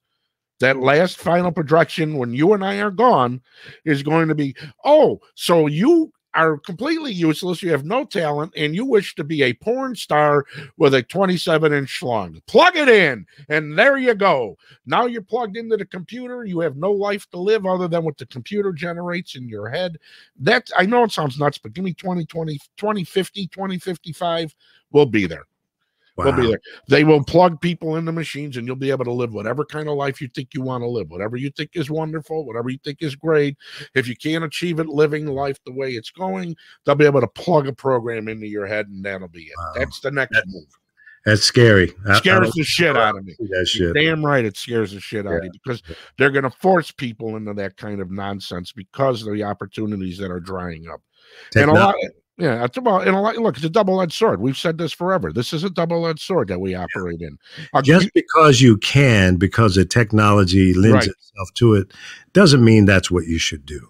I love technology. I'm thankful for indoor plumbing. I'm glad I don't have to go take a piss in the middle of the street at three in the morning. Thank you, technology. Air Yeah. conditioning is the greatest invention for any fat or skinny man ever known to man. Air conditioning is great. I love the fact that I have a refrigerator that I don't need Barney Rubble dropping off a big rock of ice to put in my ice box. Technology is wonderful, but it's a double-edged sword too. Because people can bastardize it. And once it gets bastardized, it does a lot of damage. I was just looking around me here. I've got six computers in this studio. Yeah. I've got three monitors. I've got three cameras. No, seven computers. I forgot the little little cube here on, on the desk. I've got a couple of nice speakers. You got a you have a cube? The little the little cubes? yeah, the little little square thing. It's a it's a Windows uh, Mini. No kid. Wow. Yeah. Remember those what were they called? Cobalts, the Cobalt servers. Yeah, yeah, yeah. Well, this is the, this is a Windows version of the old. I had a Cobalt. yeah, I remember. It was a little it was a pretty little right out of Star Trek. It was cute. Yeah, yeah, Yeah. Unix uh, box. Yeah, Unix, that's right. Yeah. I got a key light. I got a big twenty inch ring light. I've got um, where is it? It's uh, to put it back in the box. I got a, a one, two, three, four, five microphones. Mhm. All of this is in my my own little personal studio. Yeah. And there are guys like this all over the world that have access to this kind of technology. I got a, a video switcher, I got a, a, this is my newest toy. I don't know if you can see this. What you got? It- This is a Blackmagic Oh yeah. Video. is called a, a fast uh, speed editor. So you know, for g- video guys editing, like guys like me and you, I get really excited about that. It's kind of hot, man. pretty sick. yes. yeah, that's sexy. So you know, I, I but that's that's what I enjoy. You know, and at this point in time in my life, I'm knock on wood, lucky enough to, to, to be able to do it now. Yeah. But a lot of a lot of people won't have the opportunities that I had, and a chance to to work in. Uh, let's see, I worked in New York, L.A., Chicago, San Francisco, Houston, uh, um, Charlotte, Norfolk. What am I missing? I'm missing St. Louis. And then I consulted in about another 20 markets. And I mean, I, I- not many people are going to have that opportunity and made a few million dollars doing it. Yeah, and I don't know if they'll even know what they missed, Lee. No. I don't even know if they'll ever know that they missed it because it's not being told to them that they have missed it. Yeah. Well, the opportunity isn't there. And I was hoping that when I broke the ceiling and for the first um, program director, let alone African American, to make two and a half million dollars on a contract Mhm. Was earth shattering, groundbreaking. And my hope was it would open up the door for others to follow. But I would bet you That was the peak. that then that's sad. But I would bet you the vice president of any of these companies that's over a hundred uh, stations or two hundred stations is not making a half a million dollars a year. And there are people, you know, Armando, I was just talking to Armando about this uh, you know, a couple days ago. And what you just said about what some of these guys in radio are making and the the higher ups who are the supposed geniuses making six, seven, eight hundred grand a year, making them. I mean, they don't even bother to flush the toilet anymore. They take such a big, they drop such a big bomb on everything, make such a big. They don't even have to flush the toilet because they're covered. Hmm. They're protected by the other idiots that are dumber than them surrounding them, making a million a year. Yeah. So yeah, I, I it's it's there's a lot of I'm- problems. And I'm this is right. This is why it's good where we're at, Lee. This Yeah. is good where we're at on the internet. I ain't, you ain't got an answer to nobody. I ain't got an answer to nobody. Somebody wants to contract me for a job, more than happy to do it. I ain't got no problem. I got 40 different balls in the air. Always have, just like you. Some work, some don't. But for the most part, Mhm. we ain't owned. I ain't owned by nobody. Exactly. Yeah. So I, I'm happy with with where I am. I'm just ha- uh, not happy about the opportunities for others that that are following me, and and those footsteps are, you know, in the snow, but they they can't go behind me in those footsteps because the trail has been cut off. But I think if you- they can do it online, it's just Yeah. But that that that's all you know. Again, like you and I've discovered. Oh yeah, we can reach billions of people. Guess what? Hundreds of millions of people are now trying to reach billions of people. So it's relative. You And know, there's a guy on YouTube called um, Mr. Beast. Mhm. this guy is making crazy money. Um, you, you go to YouTube and, and put that name in and tell me how many how many subscribers he has. This guy gives away. He had a contest. He gave away forty cars to one person. Is he related to Oprah? No, He's bigger than Oprah. Really? Well, Down the she, internet, well, yeah. she she's gained weight and lost weight a lot. I mean, we talk. Well, yeah, but I'm talking about the purse now. okay, all right. He may not be a billionaire because he's giving away a lot of stuff. Yeah, you Is got it. Fifty three and a half million. That's right.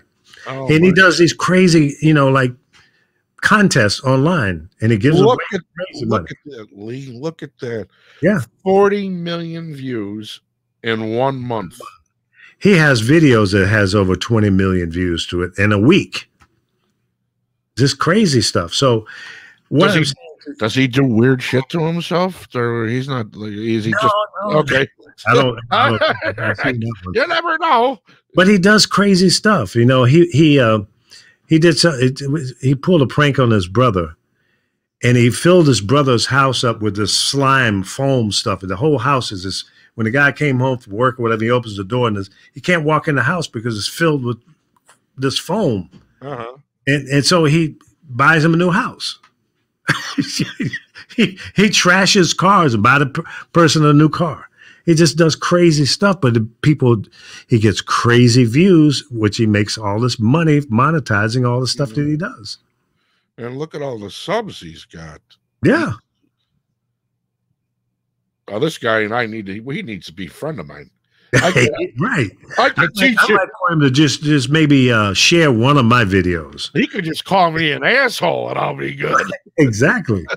but but this, go go check him out. I mean, it's just it's just nuts. But is he like a comedian? No. Is he a singer? No. Is he a, a, a great radio programmer or anything like? No.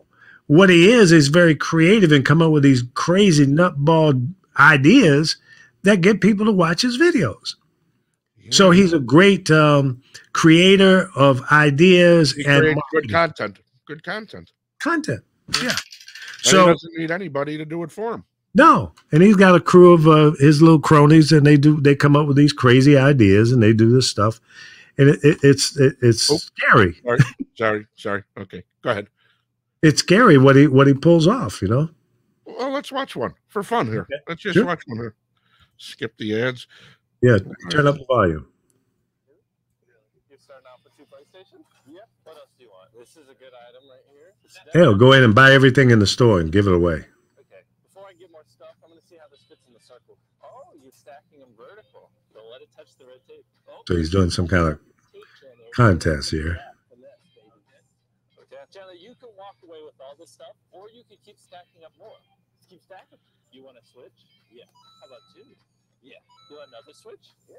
We should switch it up and get a switch. Good job. you sure you can make that fit in the circle? Yeah. You could probably put a lot of that on the bottom or right here. What else should Chandler buy? Do you think Chandler should get this TV? Yes. Oh, ah. all right, Chandler. It's inside the circle. Is there room on the other side? Oh, yeah. There's plenty of room on the other side. It's free real estate. Any of these items touch the red, he has to put it all back. Oh. Here, you got it. There you go.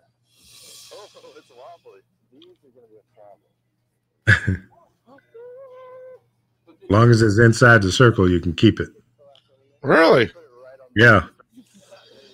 There you go. Congratulations. You Three thousand seven hundred dollars worth of stuff for free. Here you go, little man. Thank you. This is Tyler, and Tyler, anything you fit in this circle, I'll pay for. It looks like a rectangle. That's the table. Oh, is there a circle in here? Yes. Oh, okay. All right, this is a $280 anime statue doll. You should get it. But I had my eye on that. Right when I came in here, I wanted to get this.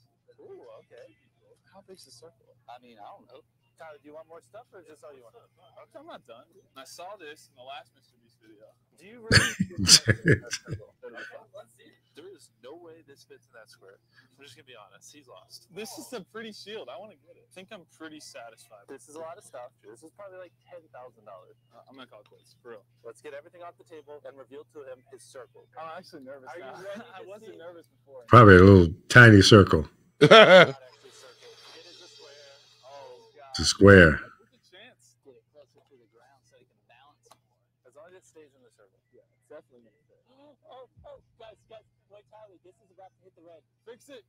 Okay, I got it. Chandler, don't screw this up for me. You can go over the red tape as long as you're not touching the ground. All right, how do you want to All do right, it? gentle. Slow. Where's the hole at? Whoa, slow, slow. Everyone, take a second. All right, is anyone touching it? I'm not. Okay, all right, we need to hurry. Whoa, whoa, easy, easy. Here, all right, Tyler, put everything else up there. You can everything. I'll hold it. Hold it. No, oh, I'm. I didn't think I'd get this far. All right, if anything falls, Tyler, you lose. You're freaking me out. You're freaking me out. And you wanted the shield. Put the Oh, shield in the front. Shield no. in the front. There is no way this works. Whoa, okay, oh. Square check. It's going to square.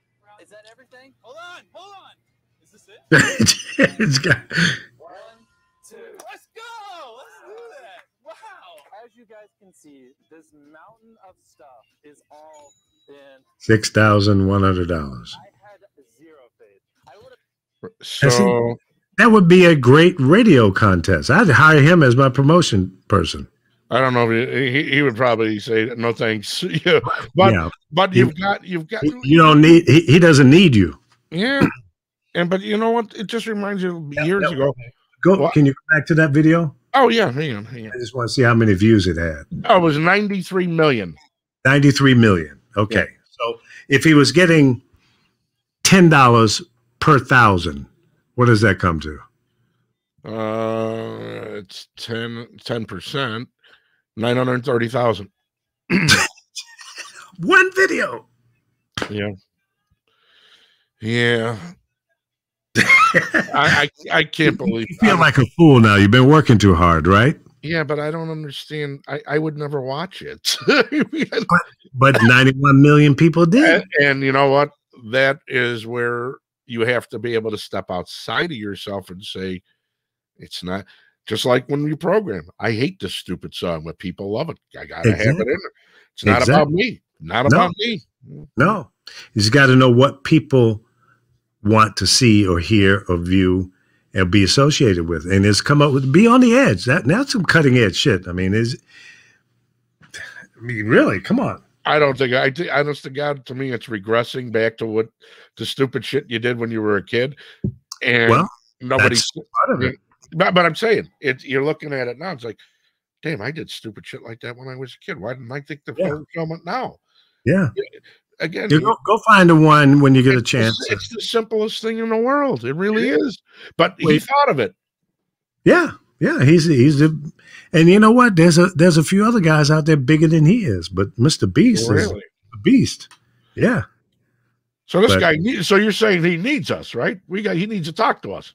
we gotta- need him. to be clear, Hey pal, Yeah. let me tell you something. We need to you need to talk to us. right? Real bad. Uh, let's see. Yeah, Mr. young Beast. guy. I, I, I bet he's maybe thirty. Good for him, man. Yeah, that's what I say. God bless him. Yeah, so here's a bunch of them. Yeah. Wow. So if you're all depressed and and don't know what to do next, and your rent isn't paid, and your car is about to get repossessed, get creative.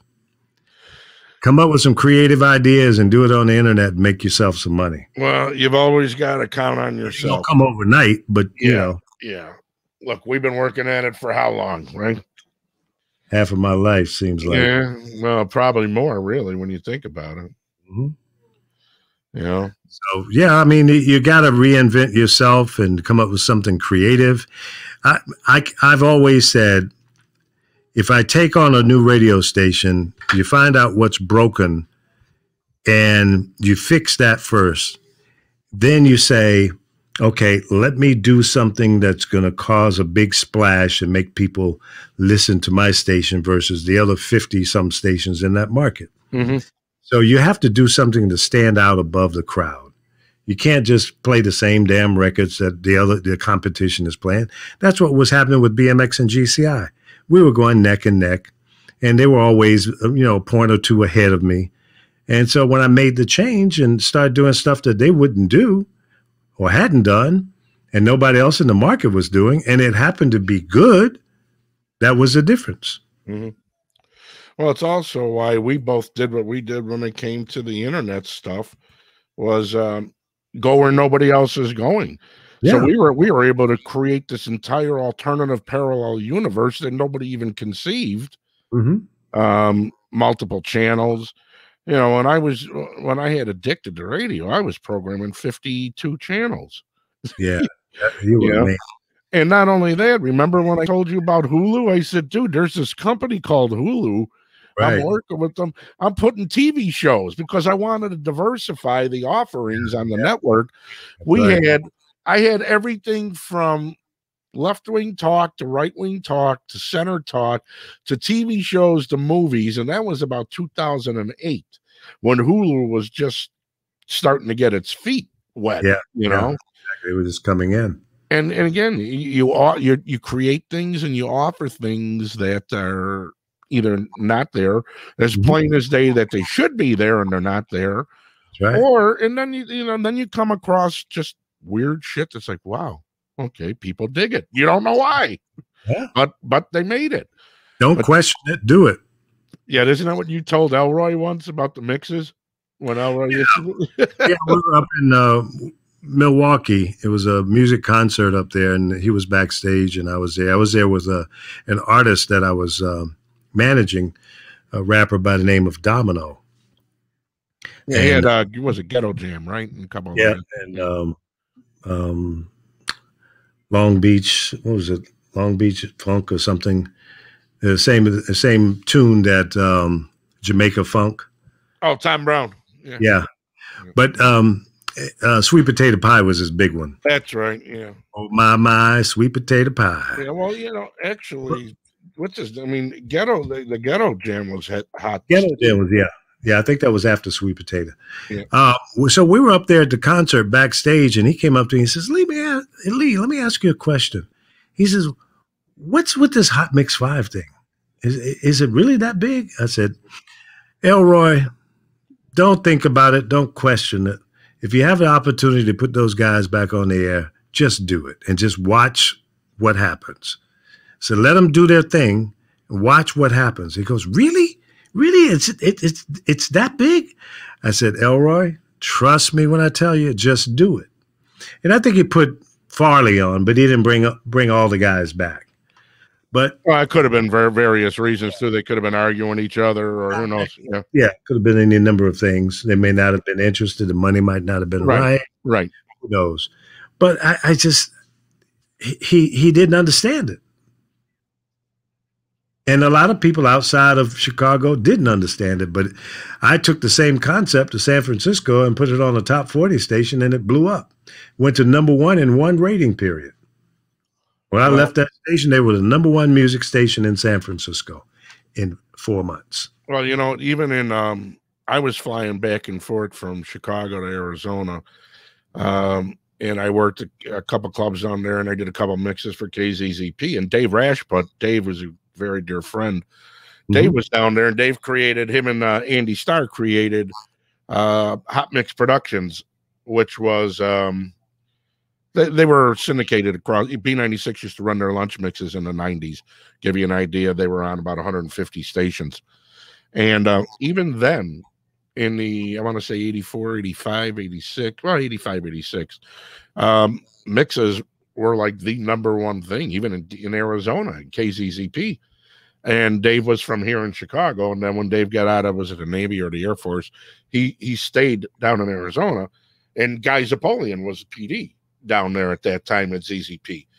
So it was weird when you get to Arizona, while some of the house wasn't hot, songs like Midas Touch, Wet My Whistle, No Parking on a Dance Floor, but then even other things like Hypnotic Tango were hot records. I, we were able to make them hot records down there, but the house really didn't hit to the latter part of the 80s. But mixes were an important part of the programming.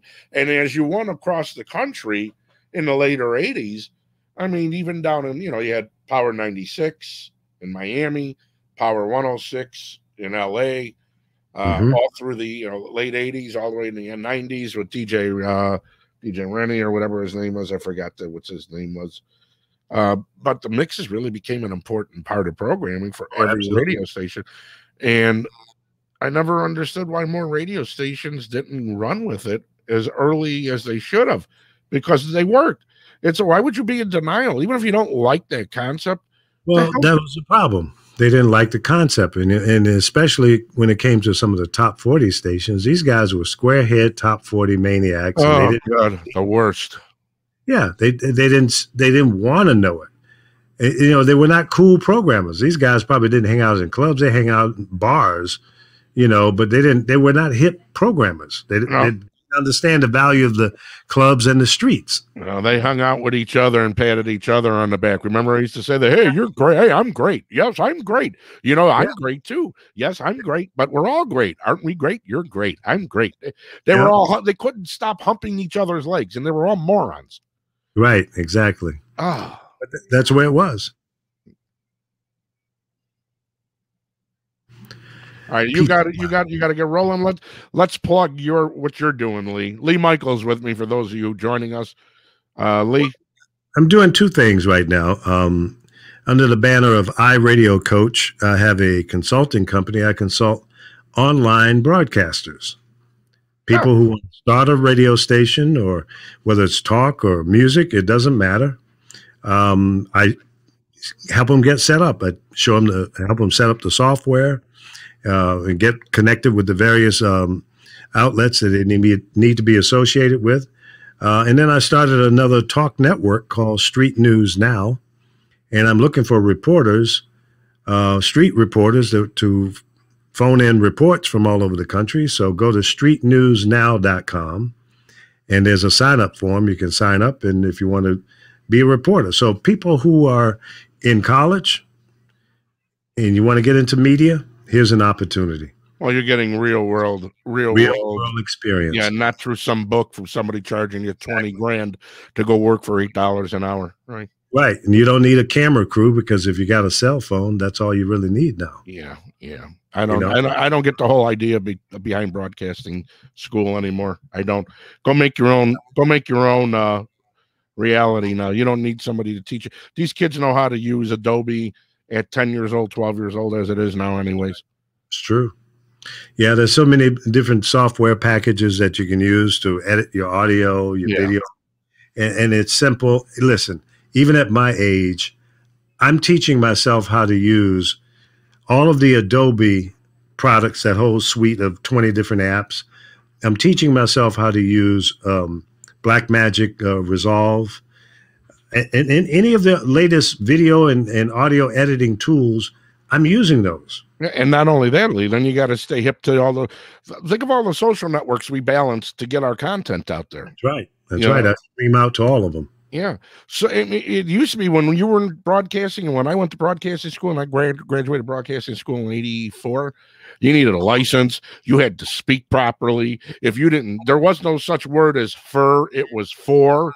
There was no these, those, and this. It was this, that. You had to enunciate.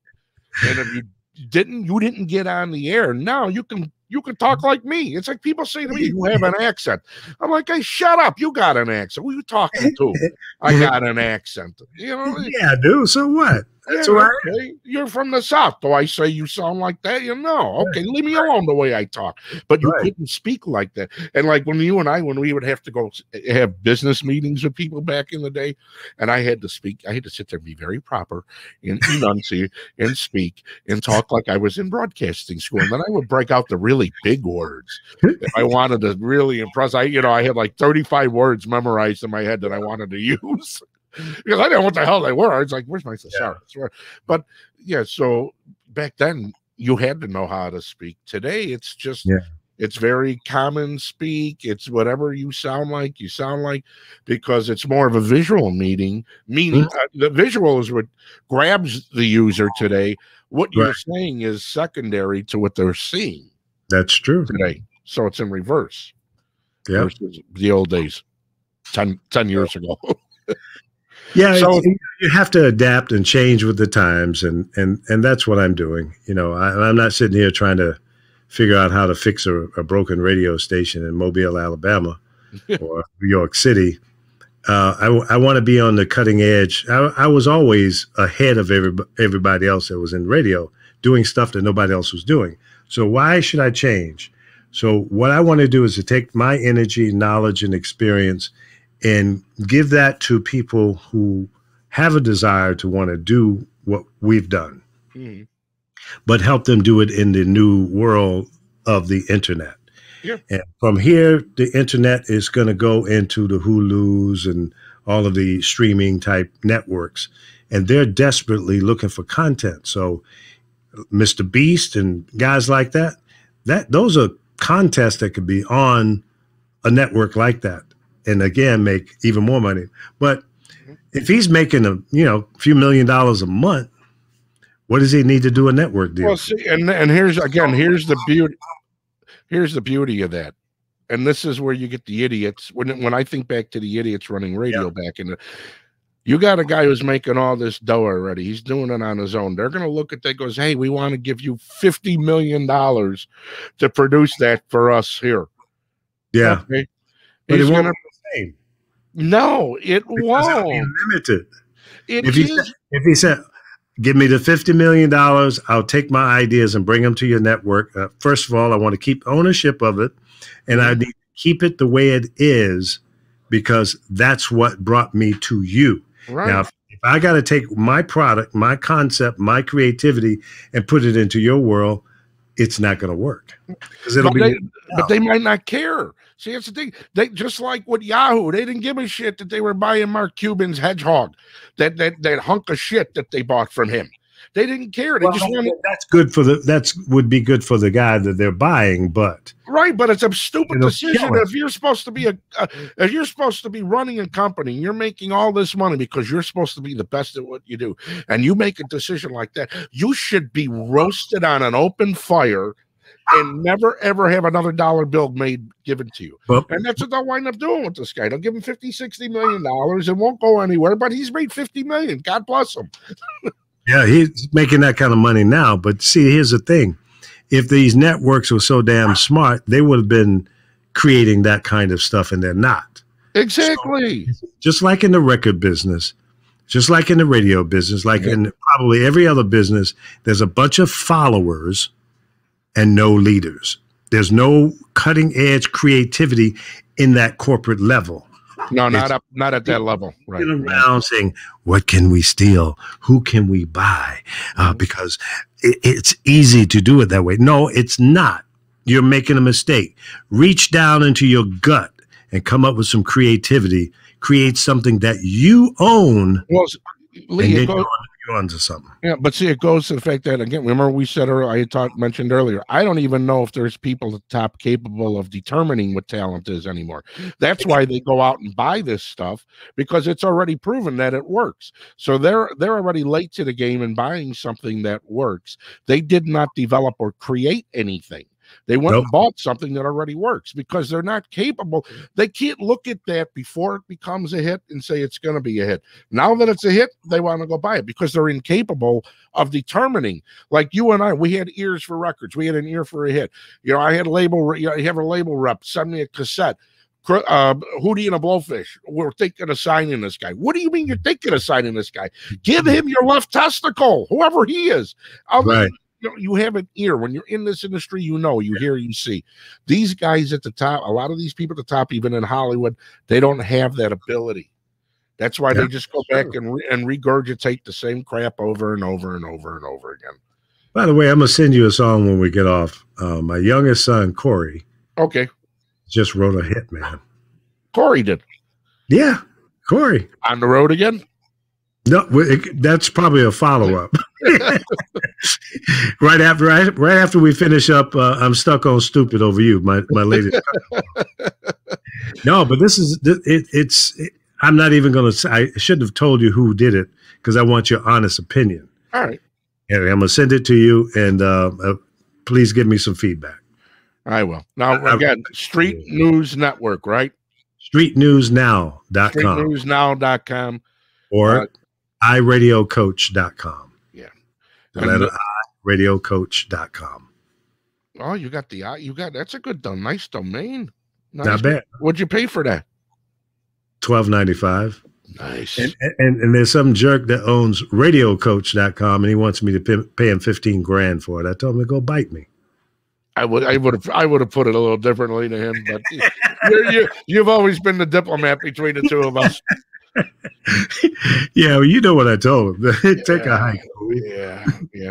All right, well, we're gonna we're gonna do this every Monday. Here we go back in the day. Don't forget the back in the day group on Facebook, on MeWe, on a variety of different platforms. The video, different platforms, including Twitch, YouTube, uh, blah, blah, blah, blah, Rumble. We upload it. It's on demand. You can always catch the back the the, the uh, archive shows.